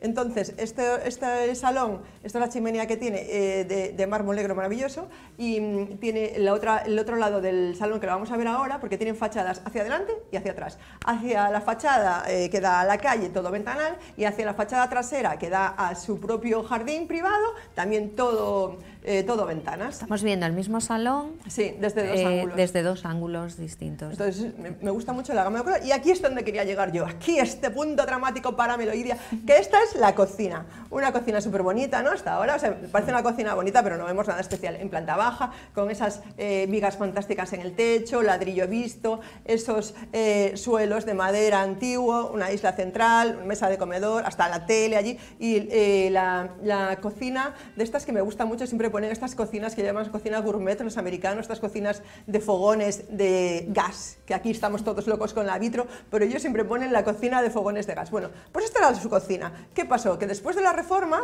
se dieron cuenta de que no les funcionaba ahí la cocina y lo cambiaron y lo convirtieron en este saloncito. Un salón, O sea, este cocina. es el mismo espacio que hemos visto. Fíjate en las vigas del techo, es el mismo espacio. Eh, muy sorprendente, sí. ¿Verdad? O sea, ellos hicieron pues, lo, lo que le parecería a todo el mundo que es lo más lógico. Entras, planta baja, hall, cocina, tal. Entonces, ¿qué pasa? Que se dieron cuenta que la mayor parte del tiempo la pasaban en la cocina, que era el espacio en donde compartían más horas ellos en familia. Y entonces, ¿qué dijeron? Es que al final la tenemos en una zona mm, que no es la más bonita de la casa, no funciona esto, lo vamos a cambiar. Y entonces la cambiaron, reformaron otra vez la casa y la pusieron en el primer piso, la cocina. Dices tú, pues me parece muy bien. Que no funciona, lo vamos a volver a cambiar. Y vamos a ver la cocina nueva, a ver qué te parece. Mira, estas son todas imágenes de la nueva cocina. Allí tienes la cocinita, otra habitación maravillosa con chimenea. Entonces es una cocina que ya no tiene nada que ver con la otra, porque es un espacio que a primera vista no parece exactamente una cocina. Me resulta muy difícil de, de conceptuar esta cocina. Mira, es si te verdad que fijas, yo... a la derecha ves el grifo, tenemos Claro. más fotos y donde se, donde se ven los detalles, fíjate, ¿no? Es, es la mesa del comedor en el medio, la cocina en una esquinita. O sea, yo creo que a nivel cocina es más funcional la otra. La otra la veíamos funcional. A nivel estético, esta me parece fantástica. A mí, fíjate, es que se me diluye un poco, eh, se me diluye, se me diluye un poco el concepto cocina. También es verdad que, que es como muy atípico a lo que estamos acostumbrados a ver y, y tal. Yo lo que voy, que sí que defiendo, es que cuando no estés a gusto con algo que no te sea cómodo, eh, rompe con eso, aunque no sea lo que se espera que sean en las casas. ¿no? Sí, es que sí que es verdad Quiero que... decir, eh, los percheros Sí. tienen que ir eh, en el hall, por ejemplo. Pero si tu costumbre es llegar y desvestirte en el baño, pon el perchero en el baño. Pues yo eso lo veo bien, por Sí, ejemplo. ¿no? Es que yo soy totalmente, soy- soy totalmente fan de, de- de esto, porque además, jo, en la casa de mis padres hace 800 años, bueno, mamá no, 800 no, pero hace 800 años, había el típico salón que no se usaba nunca, solo cuando venían visitas y tal, y luego tú hacías la vida como una salita. O sea, que eso no tiene ningún sentido. Hay que usar todas las estancias de la casa. Y entonces, si tú al final la habitación donde haces eh, más vida con toda tu familia es la cocina, pues potencia eso, o sea, potencia esa habitación. Porque la cocina, eh, por tradición o porque se supone que tiene que ser así, va a tener que ser de una determinada manera, vas a tener que relegarlo a un espacio que no es el espacio principal de la casa. Y vas a tener a lo mejor un salón en ese espacio principal de la casa, pero que no se usa. Y al contrario, cuando tú no haces vida en la cocina porque no te gusta Mm. ni cocinar, ten una cocina pequeña, asequible, práctica y ya está. O sea, a lo mejor en, en un piso es más complicado por el tema de instalaciones y tal, pero en una casa unifamiliar mm, no hay problema. O sea, tú puedes poner eh, las habitaciones, estancias donde quieras. Entonces, me encanta esto. O sea, eh, nos equivocamos. Muy, pues muy bien, rectificamos, porque la casa es para vivirla y la casa eh, tiene que ir cambiando. O sea, es que mm, tampoco hay que agobiarse ni asustarse eh, con que de verdad tenías una idea y de repente no ha funcionado como tú te esperabas, porque muchas veces sobre Yo las ahí, cosas le- parecen yo una ahí cosa y luego... yo ahí estoy de acuerdo contigo, pero le pondría un asterisco que es, lo dice una interiorista, ¿entiendes? Que en Pimplis Plus te hacen una reforma. Yo en mi casa solo veo obreros que no doy sacado. ¿me No, eso es horrible. Sí, yo entiendo que tener obreros, eh, obreros en casa y sufrir, sufrir obras es horrible, pero bueno, eh, mm, bueno, pero al final vale la pena. O sea, al final cuando ya por fin terminas y todo lo ves eh, terminado y de verdad funciona y mira esto cómo se conectan los espacios, eh, la zona que tienen ahí como más para desayunos, que es como una especie de antesala a la cocina, o sea...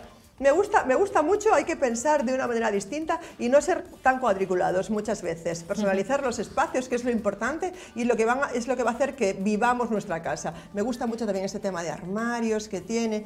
Y mira, es que esto, esto podríamos copiarlo eh, de una manera súper barata. O sea, es- estos muebles eh, panelados en- de madera, que tanto puede ser, es, de hecho es un mueble de cocina, lo que vemos a la derecha pero está tratado casi como si fuera un mueble de salón.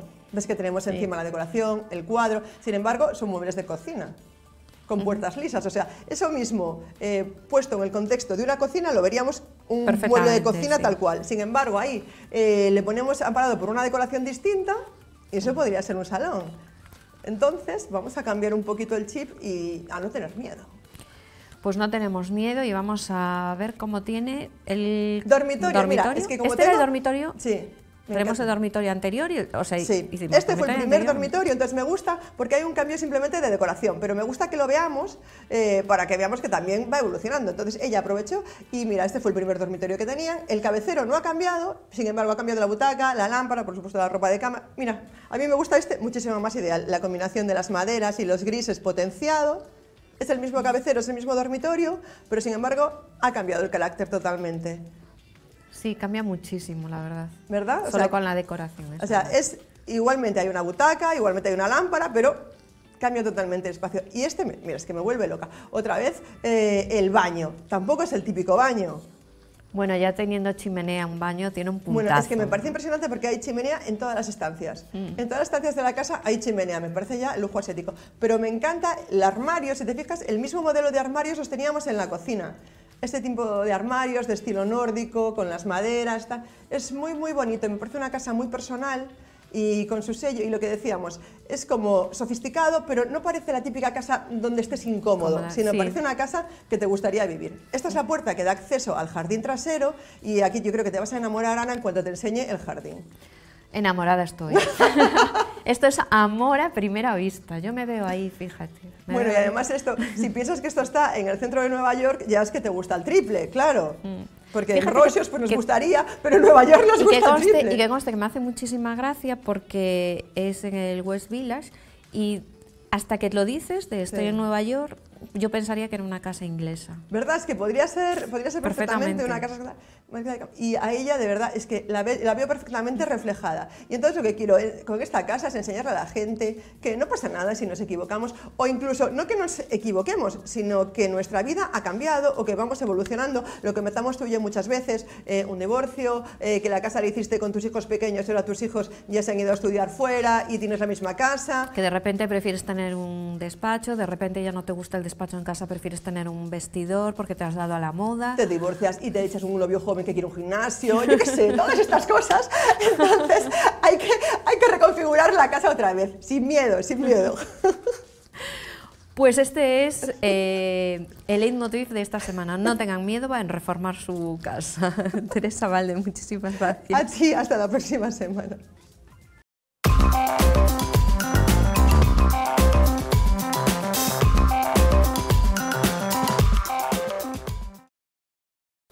Hola a todos, de nuevo estamos con otra de las cosas importantes de esta temporada. Y digo importantes porque, primero, porque casi todos vamos a poder hacer algo de, este trabajo que hoy iniciamos, hoy empezamos. Esto es una serie, que están de moda las series. Y, y porque además es muy bonito lo que vamos a hacer. Entonces, ¿qué vamos a hacer hoy? Pues esto que estáis viendo en pantalla. Vamos a rescatar de un tocado vintage mm, su sabiduría y, su buen hacer.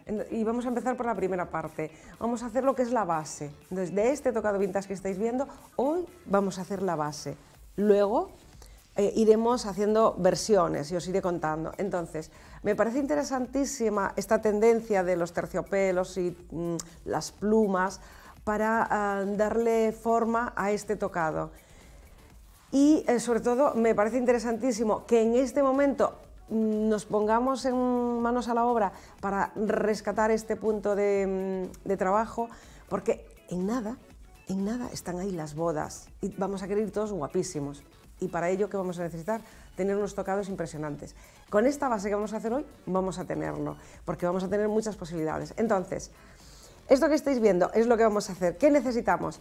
Pues una entretela y un alambre de cobre.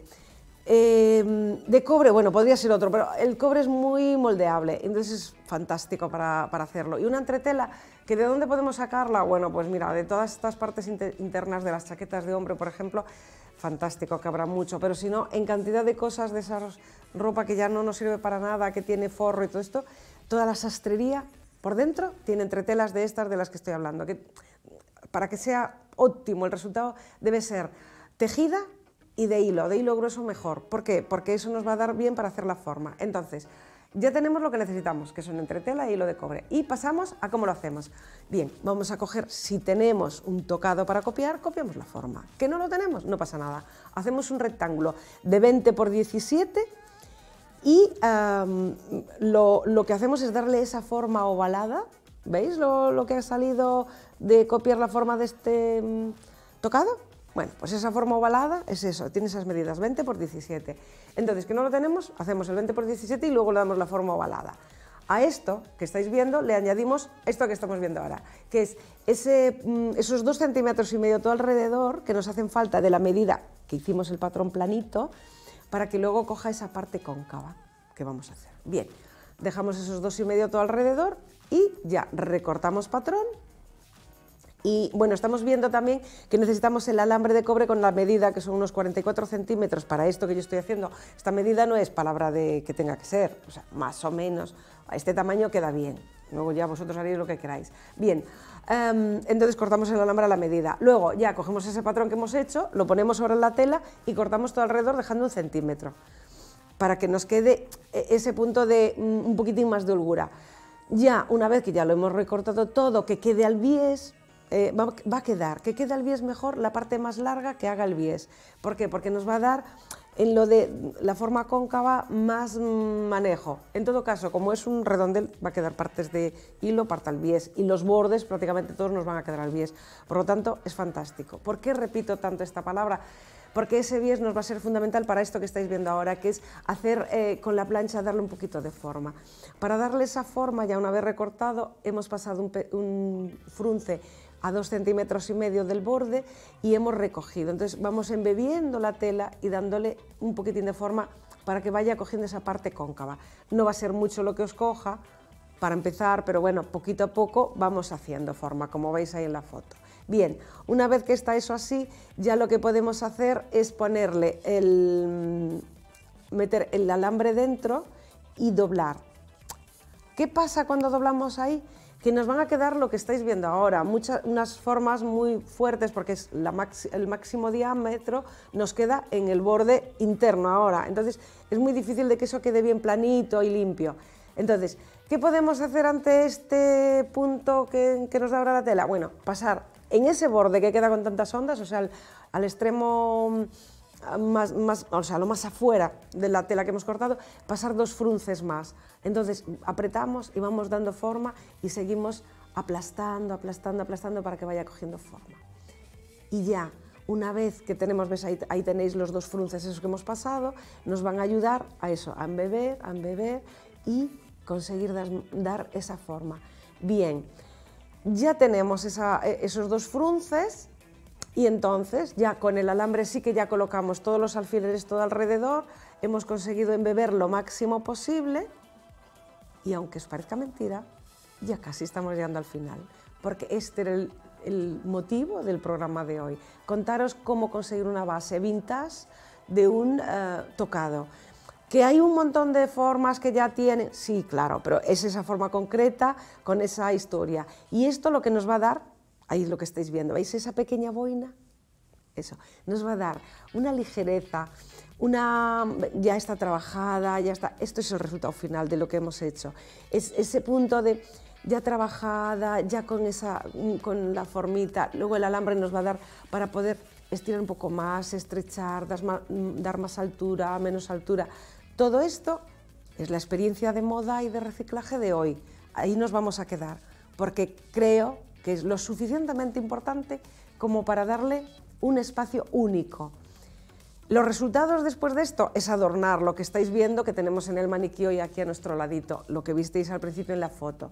Pero, eh, ¿qué va a pasar con esto? Que hay que esperar al próximo capítulo, que será en la próxima entrega. Quiero que le dediquéis a esto, que ensayéis toda esa historia de los embebidos, de... es fantástico y nos va a servir para muchísimas cosas. Entonces, lo dejamos ahí, ya tenemos un gran trabajo y nada, pensar en que vamos a seguir reciclando. Nos vemos en el próximo programa.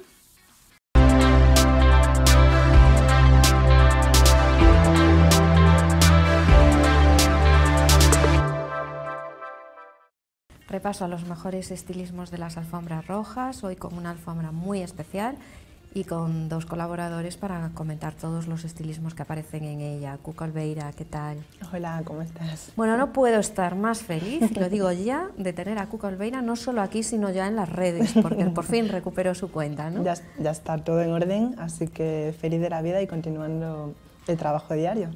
Oye. ¿miraste por encima si te faltaba alguna foto? ¿Cómo? ¿Miraste por encima si, si te faltaba alguna No me foto? faltaba ni una sola foto. Estaba, vamos, hasta las fotos iniciales desde hace cuatro años, ahí estaban también. Bueno, pues Cuca Albeira, una de nuestras bloggers gallegas más conocidas, que ya por fin, después de ese terrible suceso en el que le hackearon la cuenta, desapareció, la tuvimos ahí perdida en las, en las redes, por fin ya está otra vez su cuenta activa, así que todos a seguirla. Y también con nosotros, Serafín Rey. Que yo es solo engancharlo, porque una vez que le digo, deja el corte inglés y vente para aquí, ya lo tengo enganchado todas las semanas. Que no es fácil, ¿eh? no lo consigue cualquiera. es verdad. Buenas noches, Ana. Bueno, pues con ellos vamos a hablar de esta alfombra roja de los People Choice Awards y empezamos con la gran protagonista de este año a la que hicieron un homenaje que fue Victoria Beckham. Victoria Beckham sí, Victoria Beckham no. ¿Qué me decís? Eh, me veis para mí porque antes estábamos haciendo comentarios Estamos un poquito jocosos para meter, pero en realidad es que es eh, ahora mismo es un referente en la moda y sobre todo es un referente de evolución, de cómo puede ser una estrella, pues digamos del pop, a llegar a ser una una diva de la moda. La verdad que la, la evolución, pues, indiscutible. Siempre marca una tendencia, siempre sus vestidos, no solo los que lleva ellas, sino los que, los que llevan, pues, digamos, las celebrities, eh, un referente. Pobre de que alguien critique a Victoria Beckham sentados en esta mesa, teniendo en cuenta que la mirada de Natalia, que todo lo ve, es una de sus grandes defensoras y además, fíjate que yo cuando la vi, es verdad que va con un smoking blanco y con un, lencero, un top lencero para abajo. Y me recordó muchísimo a la propia Natalia Alcaide en la premier de Os abordas Margaridas, esa serie maravillosísima de María Mera de, de este año, o sea que cualquiera la critica. Te lo he puesto muy difícil. Sí, la verdad es que ya no sé qué, qué aportar al respecto porque es que además, eh, vamos, para mí Victoria Beckham sin duda es un, referente de la moda. Eh, además desprende mm, elegancia, eh, defiende cualquier tipo de look, cualquier tipo de estilo y ya no solo su, su propia colección, ¿no? como es este caso, eh, que luce un traje blanco de su colección, con el top lencero eh, también de, la- de su propia colección, pero al margen de eso siempre defiende eh, cualquier tipo de... Vamos, es que pongas lo que le pongas, todo le sienta bien, es increíble. Es que nosotros pensábamos que en una alfombra roja íbamos a ver así tremendos modelazos y vemos que nos quedamos así un poco más discreto todo. Tenemos también a Scarlett Johansson que optó por un Versace. ¿Qué os pareció a vosotros, Scarlett? Bueno, a mí, pues eh, el look en sí no me, no me aportaba demasiado, sin embargo, tengo que reconocer que la, lo que es el corpiño es fantástico cuando amplías, y no digo por el escote.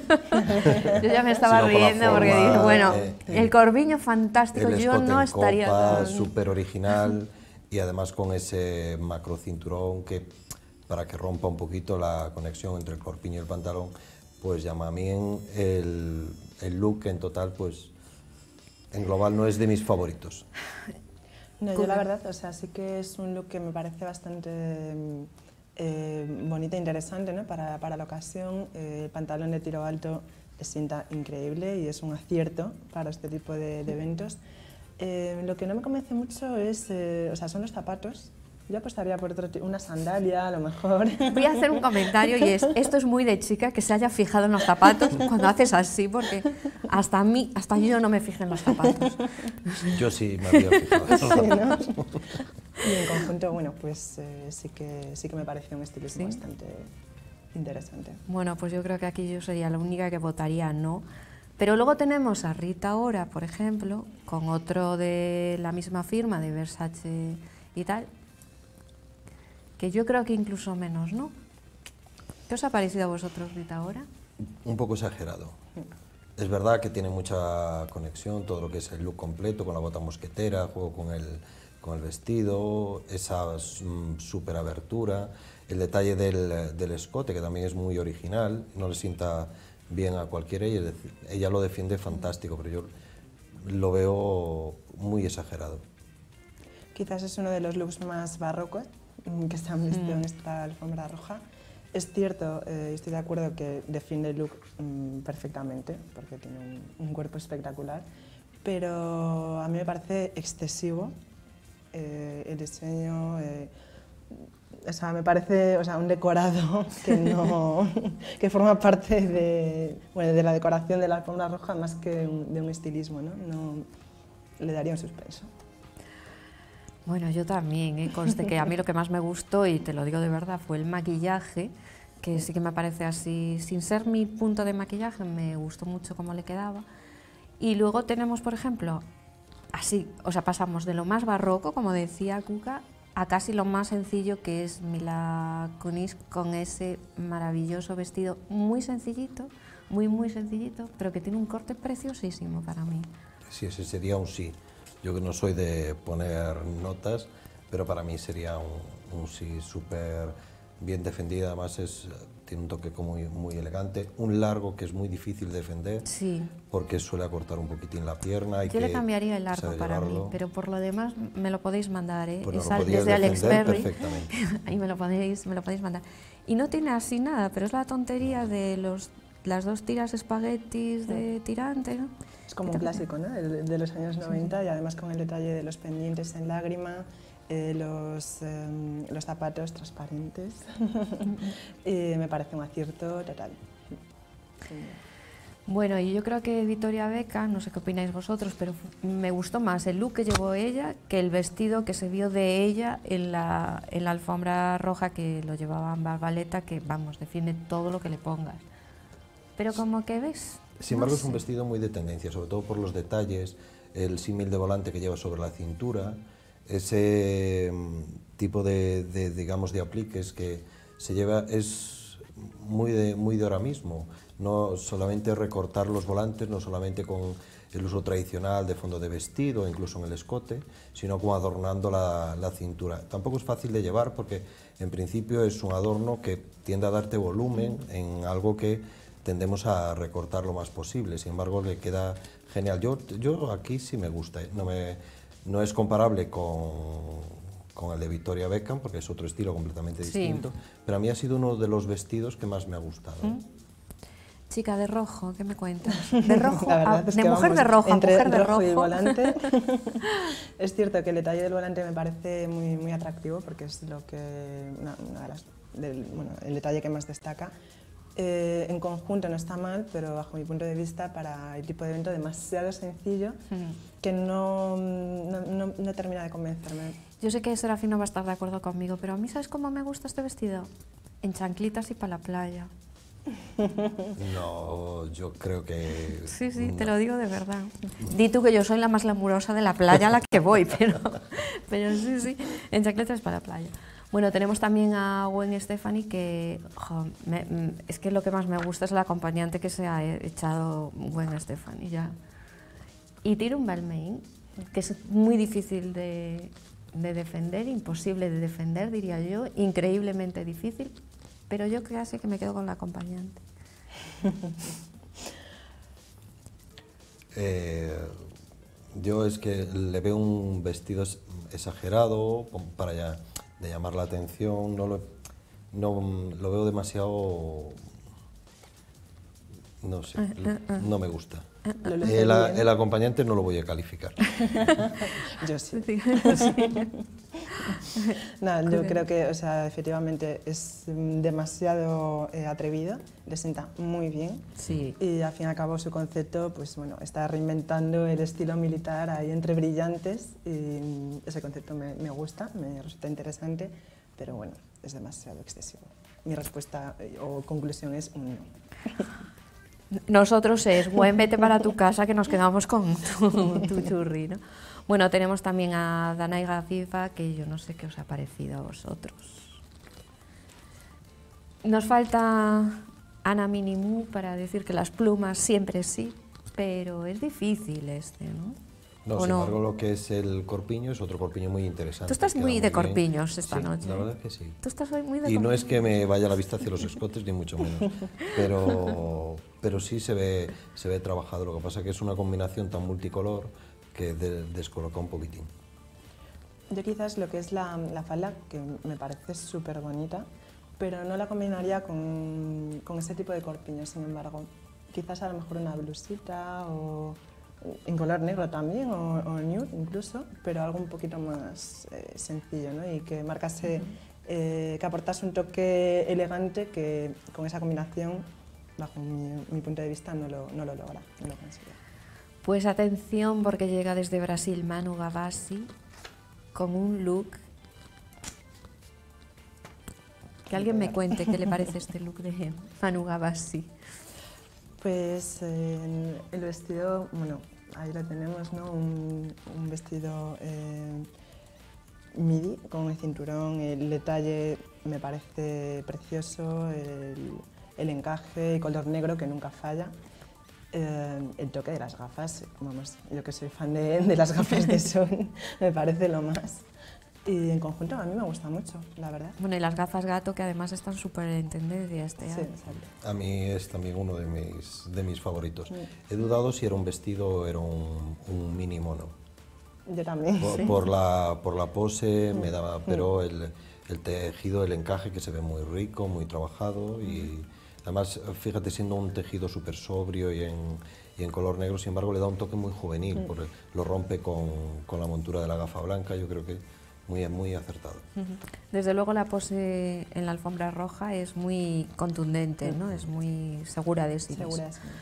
Bueno, tenemos también a una de las que pasó fue Cristina Hendricks, que yo creo que es de los pocos monos que, que pudimos ver en la, en la alfombra roja. Y a mí me descolocó mucho, la verdad. O sea, pasar de... Es como este concepto de alfombras rojas a vestidos largos o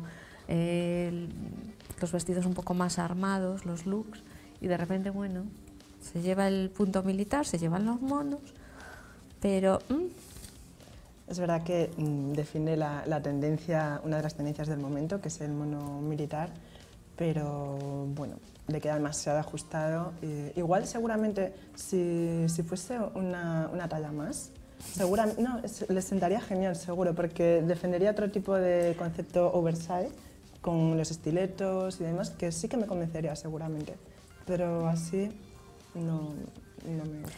Ese es un problema de muchas personas, no saber bien qué talla llevas. No, el mismo corte del, del mono, que aunque sea para llevar así, no le favorece, no lo defiende correctamente. Por eso, evidentemente, de, el sugerir, aunque no se vea un mono oversize, el, sugerir darle un poquito de volumen, pues entonces le, le ayudaría. Y en otro estilo totalmente distinto, si antes era de... Veíamos un look así muy de calle realmente para la alfombra roja, vemos uno muy de alfombra roja con Bárbara Evans. Sí, la verdad que muy, muy de, de alfombra roja, de los, Muy de alfombra roja. de los de, de los de ir en fotocall y, y saber si, dónde estás. Es verdad que se ve un tejido súper rico, muy trabajado, el vestido en sí es, no tiene otra cosa que un vestido columna, muy, muy entalladito, pero la riqueza está en, el, en lo que es el tejido. Es un vestido espectacular. No es de mis favoritos tampoco, pero reconozco que es, que es espectacular. ¿Y os gusta el accesorio, perdona, que le eligió? A mí sí. Esa gargantilla, esa, no sé. A mí sí, porque ya es suficientemente rico el vestido como para adornarlo un poquillo más. ¿Ves? Es que a mí me- sobra. A mí me sobra también, la verdad. Ya llévate los pendientes y ya está. ¿Para qué necesitas? Y además tiene un escote bonito, no necesita... ¿eh? Yo se lo quito, fíjate. Yo se lo dejo llevar. Tenemos también a Alejandra Azcárate, que, que es una de las que optó, vamos, vamos de, a más, ¿no? En otro estilo, pero también, no sé, una alfombra roja, bueno, ese vestido blanco de corte sirena, súper ajustado, la manga eh, farol muy pronunciada, el escote en V casi hasta la cintura. ¿Qué os ha parecido? A mí me parece que va impecable, la verdad me, creo que le favorece muchísimo tanto el diseño como el color blanco. Y el toque de, de Cruz, que vamos, es total. Y me parece que va preciosa. Súper glamuroso, Mm. con ese escotazo de vértigo y además se ve un vestido muy, muy trabajado, con mucha, con mucha historia. O sea, votamos sí, Alejandro. Votamos sí. Sí, mayúscula. ¿Y sí o no, Claudia Vergara, que es otra de las que pasó por esta alfombra roja de los, de los premios? Aunque el, color pues no es no llega a ser, es, eh, yo lo, por lo menos el matiz de la foto no se ve exactamente, es casi entre granate y coral, que no es un tono muy favorecedor. Eh, volvemos a recurrir un poco a los, a los encajes que están muy de moda. Yo le votaría que sí. Yo también, la verdad. Aparte me gusta mucho la combinación. Vuelvo a insistir en los zapatos. Creo que, que les sienta muy bien tanto el vestido, el peinado, el maquillaje. Es que es un conjunto perfecto. Que sepáis que no coincido con vosotros, pero ahí lo dejo. Catherine, Catherine McNamara. Yo voy proponiendo nombres y allá vosotros me decís lo que buenamente queréis de Catherine McNamara. Tiene un escote eh, muy, muy, muy especial. Porque es esa V que no acaba de ser recta, que es a lo que estamos acostumbrados. Eh, Bueno, hemos visto varios diseños con ese tipo de escote, no tan abierto como, como el de Catherine McNamara, pero es algo que se lleva mucho, por, sobre todo porque se lleva, ahora mismo hay mucha tendencia de, de elementos de ropa íntima de mujer que realzan el pecho sin que se vean, con eh, temas adhesivos, ya sabes a dónde tienes que venir, que te- tenemos una larga exposición para ello. Entonces, eh, recoge mucho, eh, hace, sin llegar a ser voluptuosa, recoge un pecho bonito y que además que no se sale de su sitio. Puedes llevar un escote de vértigo sin necesidad de, de que se vea nada. Voy a hacer tu apunte publicitario del mes, ¿eh? que lo sepas. Ahí, de gratis, de gratis. Es verdad que una de las cosas que cuesta muchísimo encontrar es a la- las mujeres es cuando queremos llevar unos escotes de diferentes tipos, muy pronunciados, que le ponemos o con es- eh, las espaldas al aire, que se llevan tantísimo esta temporada. ¿no? Y es verdad que vosotros en el corte inglés tenéis una amplia gama de sujetadores y de ropa interior que te resuelven cualquier tipo de problema y cualquier tipo de situación con cualquier tipo de vestido. Lo he dejado pincelado esto. ¿eh? No me dirás que no. Sin dirás ensayar ha quedado perfecto. me dirás que no. Y es, una, es verdad que es una cuestión muy, muy difícil a veces, ¿no? que tienes unos escotes que ves unos vestidos súper bonitos y tal, y luego resulta muy difícil llevarlos puestos por cómo son los escotes y cómo es la fisonomía de cada uno. Y ahora hay muchísimas soluciones, que las tenéis todas en el corte inglés, segunda cuña, pero que los tenéis todos y que cada vez se ajusta más. O sea que cada. Yo os recomendaría, y, esto lo digo de verdad, bromas aparte, eh, pasar por, la, por el corte inglés para ver todas las opciones que hay porque se pueden solucionar. Ahora es el momento porque estamos lanzando todo lo que es la campaña de, de vestidos de fiesta y la ventaja de nuestra planta es que puedes probarte el vestido que te gusta con eh, la ropa interior adecuada porque lo tenemos todo en la misma planta. Una oferta más integral, con lo cual ayuda, a- ayudamos a eso. Ahora mismo está implantado precisamente todo lo que es la ropa interior eh, para realzar los escotes en vestido de fiesta. Te lo puse, A ¿eh? huevo. te lo puse, ahí. ¿Nos ha quedado? Bueno, Nastasia Bolívar, ¿cómo llevaría la ropa interior Nastasia Bolívar para defender este vestido? ¿Te gusta, sí? A mí me, me parece atrevido, les sienta, bueno, va súper súper sexy, pero también defiende ahí un, un concepto elegante. O sea, los fusiona como una mujer fuerte, guerrera. Estoy pensando Me yo que ahí las, las mujeres de rojo hacéis Me ahí una piña. No, a mí me gusta mucho. ¿Te gusta? Bueno, a Cuca le gusta y a ti. A mí me encanta porque tiene ese toque como griego, como, como una diosa y además se le ve a ella la pose y todo súper poderosa. Pues ahora dos por uno. Tenemos a Terry Cruz y a Rebecca King Cruz, eh, también con, pisando fuerte en la, en la alfombra en la alfombra roja. A ver, para una vez que os viene una parejita, dime algo, será fin de ese chico y dime algo de esa chica, Cuca. Eh, a mí me encanta el smoking, además cruzado, que es eh, siempre muy arriesgado y es más difícil de llevar. Eh, no me gusta tanto, aunque se llevan mucho los cuellos cisnes, para este estilismo exactamente no, no es lo que yo hubiera aconsejado. Y un pelín reventositos, Sí. ¿no? el botón ese, me estaba recordando a ese chiste que había por WhatsApp de que nuestra amistad sea tan, gran, tan fuerte como el botón amarillo de la... pues casi, casi.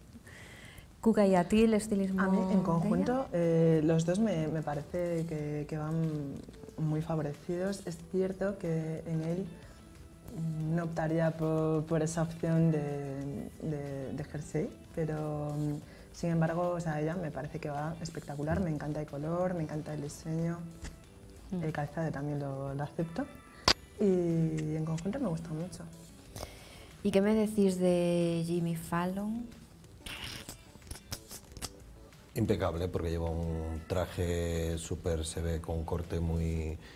No es esa- exactamente... Es, no es un slim fit ahí muy arriesgado y lo único a corregir el nudo de la corbata, el resto perfecto. Mm, Hay esos nudos de la corbata que a veces se, se despistan. Bueno, pues en el otro lado de la vida está Jorge González, ya os lo digo yo. Esto, vamos... ¿Quién se anima a definir el look de Jorge González? Yo creo que es el claro ejemplo de la alfombra roja americana, que es el show, el, eh, lo exagerado, lo, el- sí, para mí es que es un show, o sea, es, un es como la Jorge diferencia. González es... mm, Jorge González es difícil ¿eh? de llevar, pero es un poco lo que dices tú, bueno, pues es un show y yo creo que voy disfrazado. O sea, ya no es que voy vestido exagerado, que voy vestido con mi personalidad, sino que directamente voy ¿no? disfrazado. Vestido para la ocasión. Vestido para la ocasión. y ya para terminar tenemos a Taiga, ella es con quien cerramos esta alfombra roja. ¿Os ha gustado?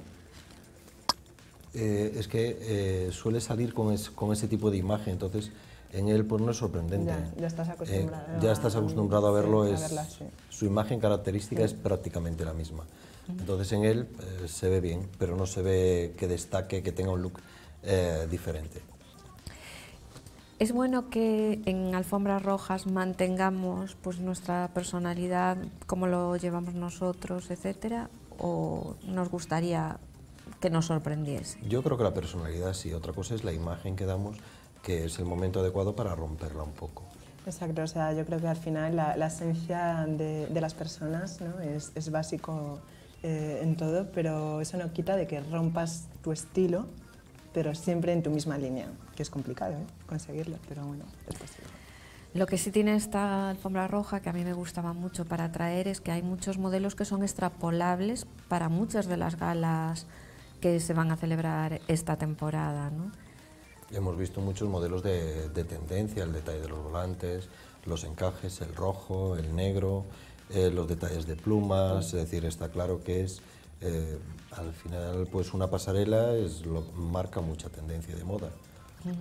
Es que es verdad que a veces cuando son así premios, sobre todo en pasarelas que vienen de Estados Unidos, que tienen otro concepto distinto de la moda y la fiesta, muchas veces nos gustan los modelos, pero los vemos uf, demasiado armados, demasiado que no los podríamos llevar. Pero sin embargo en esta sí que rescataríamos muchos, ¿no, Cuca? Nos Además, pedimos unos cuantos. El ¿no? color blanco, vamos, el rojo eh, y el negro que nunca falla, ¿no? pero el color blanco me parece de lo más elegante que, que hay junto al negro también. Bueno, pues muchísimas gracias a los Gracias. dos. Hoy la alfombra roja llega hasta aquí. Nosotros seguimos con más colaboradores y viendo muchos más temas, los que nos llegan de las revistas del corazón con la siguiente mesa.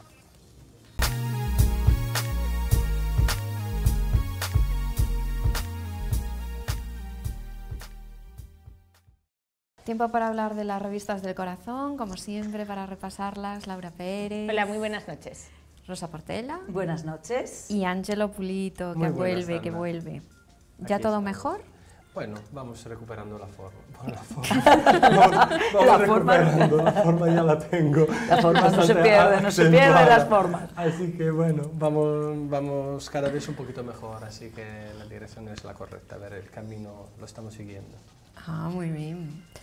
Bueno, pues con ellos vamos a repasar esos temas que aparecen en las revistas del corazón y yo no sé por cuál queréis vosotros empezar esta semana.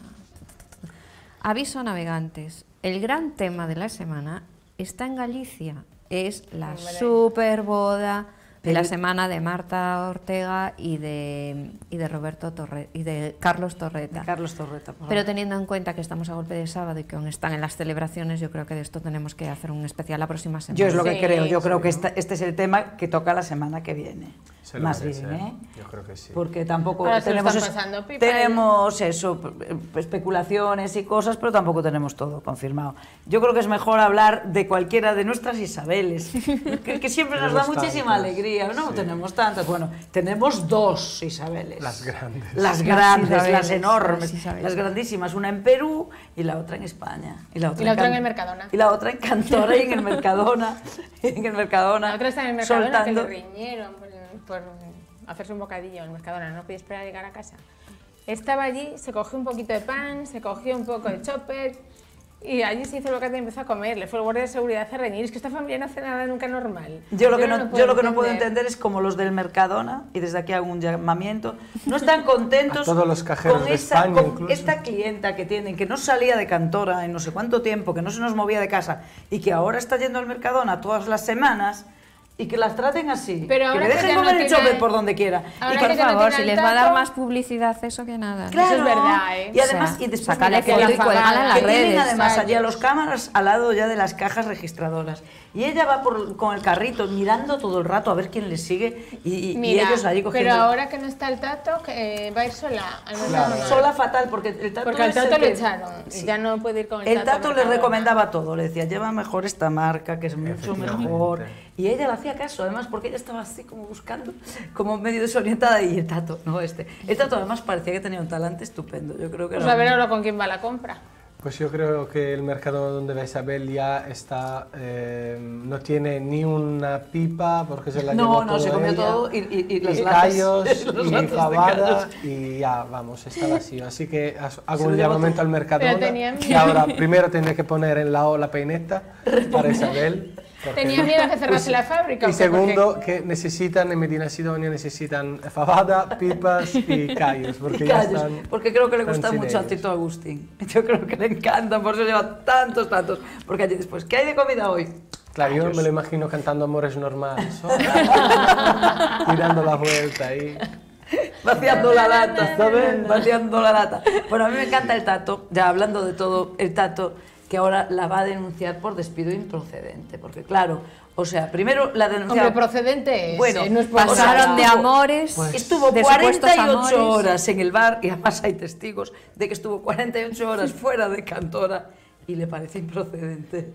No, o sea, yo no sé qué... qué- qué- pero bueno, ahora dicen más cosas. Pues mí dice que Oye, pero depende contrato. cómo sea su contrato. A lo mejor estaba No, en no, su no, día libre. Es que ¿no? parece que no tenía contrato. Parece que le hizo. Un, que su contrato consistía simplemente en firmar que no podía decir eh, ninguna intimidad Sí. de la Pues ya familia. tienes un contrato. de Pero no es un- confidencialidad. No es Solo- laboral, es- pero es un contrato. No hay contrato laboral, hay Ah, un vale, contrato de, confidencialidad. Pero nada más. eh, el otro día decía la sobrina Isabel Pantoja que estaba todo en regla. No Es sé que ahí qué cada uno- a mí me Cada dice encanta lo que porque- quiera. Lo que está claro es que el mm, procedente, un poco el despido era. ¿eh? No sé. Hombre, yo creo que es súper procedente. En el estado en que llegó, después de 48 horas de estar fuera, es que es como para darle una patada Hay en que ciertas decir- partes y decirle, Y, mira, ¿qué ahí es- te vas". y esa venta de, de elementos, eh, figuritas, elefantes, eh, Ay, la, elefante. Uy, la tarjeta candel- de la boda, el premio... Las- eh, las medallas. eh, todo Las que, medallas, que se sí. fueron a intentar vender a un Un- Un, personaje que se parecía al tato. Pues un personaje que se parecía al Tato con un coche que se parecía Al mucho Tato. al Al coche del del Tato, azul. Casualidades de la Casualidad, vida. pero bueno, también te digo una cosa, ¿eh? ahora se lleva el, el blanco, pero el coche tenía unos cuantos años y se llevaba mucho el azul, hace 20 años, así que podría, que- ser, podría ser el coche de mi Mira, padre. yo os voy a decir, ahora voy a hacer un alegato a la pantoja, que ya hasta me da pena. Que en tu propia casa no puedes tener cosas, que todo te lo llevan, todo te lo dicen, porque realmente ya sabéis que la gente que va por cantora, la verdad, mucho contrato de confidencialidad y de lo que quieras, pero largar ahí larga todo Dios. Porque Pues larga todo Dios. Al final tiene razón la hija. Dice en plan, mamá, vámonos de aquí, nos ponemos, eh, Ya. nos, mete- nos vamos al centro de Madrid, nos cogemos un ático. No, no hace falta ni siquiera una, alguien Claro. para limpiar. Cogen Hombre, una sí. Cogemos a Dulce. Limpia casa sola. Cogemos a ¿me Dulce, que nos En atienda vez de niño. contratar a alguien claro. del club de fans, que contraten a una persona normal por una agencia. ¿Qué que quieres tiene- decir? Que las del club de fans son, no son Bueno, si normales. siempre le salen raras. No, porque no, ellas son muy Siempre estamos ahí al quite, siempre estamos A ahí ver, al quite. sois- salen raras. Siempre siendo amigos, ¿eh? No, porque los amigos son para otra cosa. No, no, no. Y que te ellos admiren, son muy mira, fans y, además y los- van a lo que van. y las lo fans que tienen acaban es que de llevar admir- a alguien que le trabaje y le limpie y después adiós señora. Sí, sí, sí, no, estas mucho le admiran, le admiran, saben cantar Marinero de Luces, saben cantar no sé qué, pero después... Pero, pero vamos, que haga que la cama y punto. Bueno, de todas formas, siguen muy bien sus relaciones con Chabelita, interpreto, porque a diferencia la que está desaparecida en combate o estaba era Dulce, que ahora de repente ha aparecido en las Mm. brasas. en Toledo Bueno, y sin un duro. Es En la- duro. Que ha sonado un antiguo, ah, que ha sonado un antiguo, eh, que ha polígono sonado antiguo, sin un euro. A mí eso me suena un poco mal. Y, No- y- y está a comiendo en las brasas, que es un restaurante polígono industrial que tienen el menú Pero a ¿por qué, 10 escogió- euros. ¿por qué escogió Toledo? ¿Porque es más barato? Porque, Porque el señor le debió de dejar el, no, el yo, yo pregunto, Es un ¿por qué duplex. escoge un polígono industrial? ¿Pero Porque, qué señor? A ver, entiendo El dueño del la comodidad de ir, de, de vivir en un polígono industrial si trabajas en una zona... Ah, claro, claro, si no, Claro, eso la comodidad se la veo yo. Pero me parece un poco raro eh, que de repente haya, mm, se haya alejado de Sevilla, que ella mm, adora Sevilla, de hecho estuvo, la vieron hace poco en Sevilla, no la vieron muy bien, iba un poco cansada, dejámoslos ahí, Sí, Eh, y de repente desaparece. Y, y la buscan María Patiño, que es algo. por favor, si desaparezco, Que que, no me busque María Patiño, porque es como lo peor que te pueda pasar. No por María Patiño, pero es en plan que la persona, que la, la única persona que te esté buscando Sea María Patiño, qué la triste. presentadora de un programa de televisión, es que es muy patético. Qué triste. Es Sí, como, es muy a- triste. A, ver, si me busca Ana, que somos amigos, vale, lo entiendo. Ana, tú pues, desaparece a buscármelo, ¿eh? Sí, de los Apeninos a, vamos es las tres. a los Es- es verdad. te vamos todos a buscar. Pero sí, es verdad que es una buena reflexión. Es muy triste que con todo lo que, además, con todo lo que ha dado por esta. Por la familia. Yo lo que, yo- a mí lo que, yo lo que saco, final- lo que saco aquí es que Chabelita, yo creo que se aprovecha de ella cuando puede y cuando no puede. Chabelita yo creo que acabó de ella hasta el gorro, ¿eh? porque es, una, es, una- es, es como muy absorbente ella, o sea... No sé, realmente algo así debió de acabar porque cuando Chabelita salió de la casa, ella venía a abrazarla y Chabelita le hizo algo así como, "Mm, déjame tranquila, en paz. O sea que realmente mm, la Pues relación- también tenía, sigue teniendo muchos mm, problemas o problemas o eh, frentes abiertos, porque esta, esta mujer de verdad descansar no descansa nunca, ni cuando está de vacaciones. Bueno, está siempre de vacaciones, no trabaja, claro. Está siempre- Claro, son perdona. vacaciones permanentes. Claro, pero quiero decir, eh, Chabelita no- con Omar, eh, Chabelita con con- Nasraf, Chabelita con la madre y versus eh, Tito Agustín versus abuela. Oye, menos mal que tenemos Es a Kiko poco- desaparecido últimamente, que poco sabemos de Kiko. Bueno, sabemos que, que ahora es modelo de, de que es modelo en Estados Unidos, ojo, que ¿Qué me olvidaba de eso. ¿Modelo es de modelo en Estados Unidos de, de cuchillas de, afeitar, de cuchillas de afeitar para calvos, pero ¿Qué ya es como un pitbull allí. ¿Pero Es que es una cosa que creo que salen anuncios y Ahí sale hay mercado, to- eh, sí, sí. cuidado. Allí hay mercado. Ahí hay mercado. Sí, Pero sí, vamos a ver, Pero él es como ¿alguien una estrella. ¿Me dejáis? Hombre, por favor, eh, llegó a, a Nueva York como una estrella. Como Mira, una ¿os estrella de la de canción. Agassi, el, el tenista? Sí, que sí, hacía- sí, Sí, eso? pues las comparaciones, Ángelo, perdona, pero son odiosas. Pues pasó por la clínica, no decimos qué clínica es, y está Sí, un figurín, sí, sí. el hombre, es en plan, dejadle ser Sí, bueno, el caso es que él, modelo de él- algo, él presentó de em, ese anuncio en Estados Unidos pues, como un modelo de, pues de, De que de- como como, un- un, DJ europeo como de, un de gran, de- de gran renombre. Sí, o sí. sea, En bueno, los fin. americanos está ¿Qué claro que cosas eso- tiene la vida? la capacidad de venderles es asombrosa. Porque Eh, yo digo que aquí en España está desaparecido, aquí no se sabe nada. no, está eso. Estados eso. Unidos afeitándose. Es verdad que aquí está Solo sabemos eso. Oye, y lo que está dando de sí Miriam, guion Carlos Lozano, guion Hugo Castejón. U- guion Macoque, guion Mónica, guión- Con Carlos Lareta. puntos, puntos Tudela, Javier suspensivos. Eh, lo que está clarísimo es que, a ver, eh, Miriam soltó por esa boquita tan dulce que tiene, ese tono de voz tan delicado que tiene, eh, eh, que... Lo que oyó es, en casa. Lo que oyó en casa, ni más ni Oye, un inciso, qué Sí. enamoradísimo está Hugo Castejón de ella. Bueno, y pues, pues bueno, que Hugo ca- Castejón se ha enamorado de él mismo, básicamente. Mira, pero mira, pero quien, y quien está enamoradísimo es Carlos Lozano, ¿eh? Completamente. Bueno, Carlos Lozano dice que la va a demandar porque Sí, ya que la va a demandar, pero ya no puede sí, ser. sí, ya no puede ser, pero ella Quien la está enamoradísima va. es Mónica Carlos- Hoyos, perdona. Te No la dejo desarrollar el tema. Carlos Lozano no la va a demandar, Ana. No la, no, no lo va, no la va a demandar porque, porque no la va a demandar. La que le demandará será Bacoque. Porque Carlos Lozano salió eso por su boca. Sí, ella dice, ella le dijo a Bacoque que se soltó allí en la casa, en ese buen beber que tiene. Que le, Tiene Agua con misterio. que le No ya, hay ya nada fue Hugo que Castejón a misterio. recomendarle que la próxima fiesta agua y refrescos. Por favor. Que bueno, que, le- que, se había, que Carlos Lozano le había dicho que se había enrollado con Macoque en una- hace años. Bueno, el caso es que Macoque lo niega y Carlos Lozano lo niega. Esa chica no se lo inventó, Carlos Lozano se lo dijo, está claro. Sí, sí, sí que Ahora, lo que no sabemos es si es verdad o Carlos Lozano se tiró del moco. Que Pero... Yo, yo, yo estoy completamente convencida que no es verdad. ¿De que no? Que no es verdad. Es que además, mira, se notó ya el primer día que ella dijo, ¿y tú qué te viste con Carlos Lozano? Y la otra se vio así como tan natural. Ah, Carlos Lozano lo conozco de toda la vida, desde los 16 años. Se vio perfectamente que, que no es su tipo, que no le interesa nada a Carlos Lozano, ni que no le haya interesado. acuerdo. Y yo creo que no. Yo Bueno, no. nunca sabes dónde está el tipo de quién, porque ya. si sé, no, mira, sé. Techi, que de repente se descuelga con esta Sí. historia de que ha estado varios meses con el actual novio de Paula Echevarría. Sí. Atención. Antes de con Paulette, antes, hace- muchos años. Sí, sí, sí, sí, antes Sí, de estar. También Que estuvo luego- con otro Bueno, hombre, conocido, con otro- con otro conocido, con otro conocido futbolista del Real Madrid. Eso dice, pero... Techi. Este sí, como Claro. uno muy conocido, como uno muy conocido, que está casado con una presentadora también muy conocida. Pero, pero... No, no es Iker Casillas, sé que no está en No, el Madrid. no, no.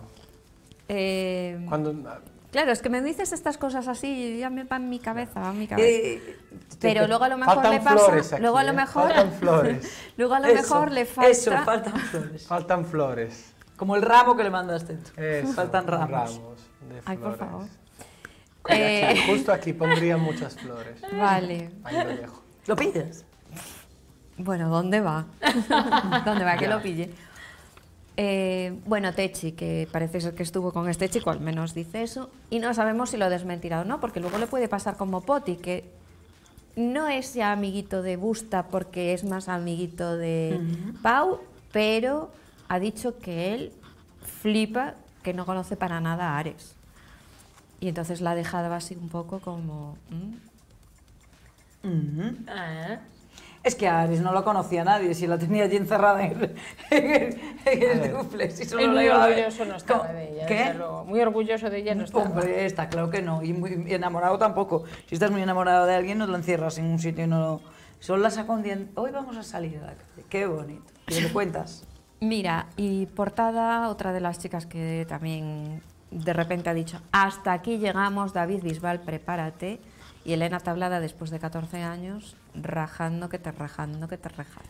Yo creo que aquí te digo que esto ¿eh? no termina aquí, porque ninguno de los dos es capaz de callarse. Ya ves que se están mandando perlitas cada semana. Sobre Eh, todo si le pagan por ello. Pero bueno, y el otro igual, el otro en Instagram, el otro igual que ella, ¿eh? porque es el día que dijo, pues que ella es una, no tiene educación, ni tiene no sé qué. Y bueno, es Pues que están no así, a ver, a, a ver quién pica más. No estoy de acuerdo porque eh, sí es cierto que Elena Tablada espera, ve una cámara, aunque sea un bautizo, se pone Sí, ahí sí. a hablar de, de- de David, y David sí que es mucho más cauto, no habla, pero es cierto también que Pero Rosanna lanza Zanetti, cada vez que son poquísimas las oportunidades que tiene, de, porque la verdad que tampoco participa en muchos eh, Bueno, eventos, va- cada vez más, va participando está- más, ¿eh? pero el último en eh, los premios de la eh, De los 40. Sí, se acercaron a un programa de, de Telecinco, le hicieron unas preguntas y ella contestó sin ningún problema. y justo unos segundos antes le habían hecho las mismas preguntas a Bisbal y Bisbal dijo, pero mira, no es el momento, no voy a hablar de esto. Ya. Vamos, que ella está un poquito más suelta en esto. Sí, sí, sí. Y ahí ya tiene ganas de, de contar algo más. Si el, el ex de la tabla dice, mira, yo no, no quiero saber Yo nada te de digo que mierda". Bueno, es que Zanetti, ella si no habla nada. de él no interesa. Zana- ¿Qué ella qué hace para que salir en una portada de la Zan- revista si no es Pues por ser la ex? Mira, yo te digo que Zanetti nada ya está hablando como, como cualquiera. Sí, sí, sí, le, está le faltan, le faltan ganas, no le faltan ganas. Y sería bastante gracioso.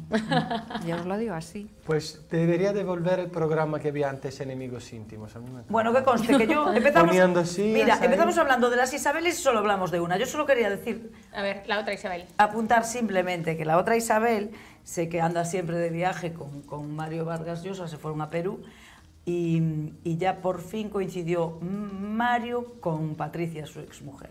Y creo que allí se cortaba de todo. Volaban los Volaban cuchillos. los cuchillos y creo que ella apareció en chándal como para, mm, para contrarrestar un poco con la imagen No, que contrarrestar tenemos iba a contrarrestar de- igual. con la imagen que tenemos de la Preisler para que pareciera que no hace falta ponerse tan así que conste que era Pues tampoco hay que bajarse después de todo para Bueno, también te digo, después de mm, todo ese- a mí me encantó lo que dijo Angelo porque dijo son como las Spice, una la de chándal, la otra la, Claro, la otra la es pija. Victoria. Es verdad, que por cierto vuelven las Spice. Mira, desde luego que para-. Mira, para yo, llegar a la altura de la. Preisler- Bueno, no pues, pues falta creo que estaba súper enfadada y era, la, era una exposición de, de su hija Morgana, que, es, que tenía una exposición de fotografía, y se le vio a él contentísimo, contentísimo, y, y, a, y a Patricia no tanto. ¿no? Hombre, ya. Bueno, es cierto que si eh, sea el evento que sea, eh, esté o no estés la Preisler en Chandal, casi que no. Bueno, pero aparte de Por eso, lo menos hasta parece que, ser que en saquen una nueva que es el- colección de Dolce Gabbana. que es la ciudad Por de, de- de Mario Vargas Llosa, todo el mundo ya los aclamaba a los dos. Entonces a Patricia eso que le sentó muy mal, porque hasta hace muy poco la sociedad de, mm, de Perú no Defendía aceptaba, ella. no aceptaba a la. Preisler y ahora desde que están divorciados parece que ya la aceptan y ya la quieren. Y entonces eso como que duele. Entonces dijo, me voy en chándal. No, Voy a por si tengo que salir corriendo, Pues por si tengo que salir corriendo. Mira, ya para acabar, una bonita historia de reconciliación. Carlos Baute y Marta Sánchez, que tuvieron sus más y sus menos, pero ahora vuelven a cantar juntos. Qué bonito, ¿eh? Sí, y están triunfando. ¿eh? Está- Están triunfando. Bueno, yo escuché la canción. eh, cuando llegué en 2009 era lo más colgando en tus manos. Sí. Carlos Baute tenía un éxito impresionante aquí en España. ¿Tú llegaste en el 2009? 2009. Ah, sí. Y O sea que- resulta que escucho la nueva canción, empieza con texto, letra de la otra, algo muy extraño, y después escucho a Marta cantando con Carlos y recuerdo de Marta en los platos diciendo, a mí me dejó solo 6.000 Bueno. euros. de todo". Pero es un poco que no me Sí, cua- pero se ve que ahora nada, El nada, otro se hizo súper famoso y resulta que Marta Sánchez, con todos los discos que ha vendido en toda Latinoamérica, en todo el mundo, podríamos decir, esta canción, se queda con 6.000 euros. Ya. Es un poco, en los bolos de Kiko Matamoros eh, Es se la- gana más. Sí. No sé, bueno, fue una historia, es verdad que fue una historia muy extraña. Pero, ella- pero la culpa fue de no haberlo firmado antes. Ella firmó una, un- una colaboración. La y culpa no, sería de su que representante. También yo antes, creo que claro. no pensaba verdad, que iba a lo mejor a tener todo, toda la repercusión que tuvo la canción. Claro. Y ella en cualquier caso dijo, bueno, lo que se suele decir después, ¿no? Es que me malinterpretaron y se sacó de contexto. Que es Sí, una frase pero muy lo, apañadita. Lo mismo, Sí. lo mismo que dijo. Te vale pa' cualquier cosa. eh, eh, Rosario Flores, que sabes que era, él quería hacer esa canción con Rosario Flores y Rosario Flores no la quiso hacer y después dijo, jo, si llegó a saber que esta canción iba a tener también tanto Hombre, ya, éxito, claro, también pasado. ya la hubiese hecho, o sea que la, la canción nadie esperaba, nadie tuviese esperaba ese que éxito. tuviese éxito. Bueno, pues a ver si tiene tanto éxito, pero por lo menos ya le ha servido a ellos para reconciliarse, que siempre está bien. La próxima semana, tema de boda Marta, guion eh, Carlos Torreta. Te sale Roberto. Me ¿eh? sale Roberto, me sale Roberto Porque porque, lo conozco Marta, más, ¿eh? porque lo conozco más. Y, y, por favor, vamos a hablar la próxima semana del beso de Victoria Federica y Gonzalo Caballero, que ha habido beso, así que de repente ya hombre. tenemos otro nuevo romance. Y yo fíjate, todo el mundo es muy pro, Foil- muy pro Froilán, pro, pro Froilán, y yo soy muy pro Victoria.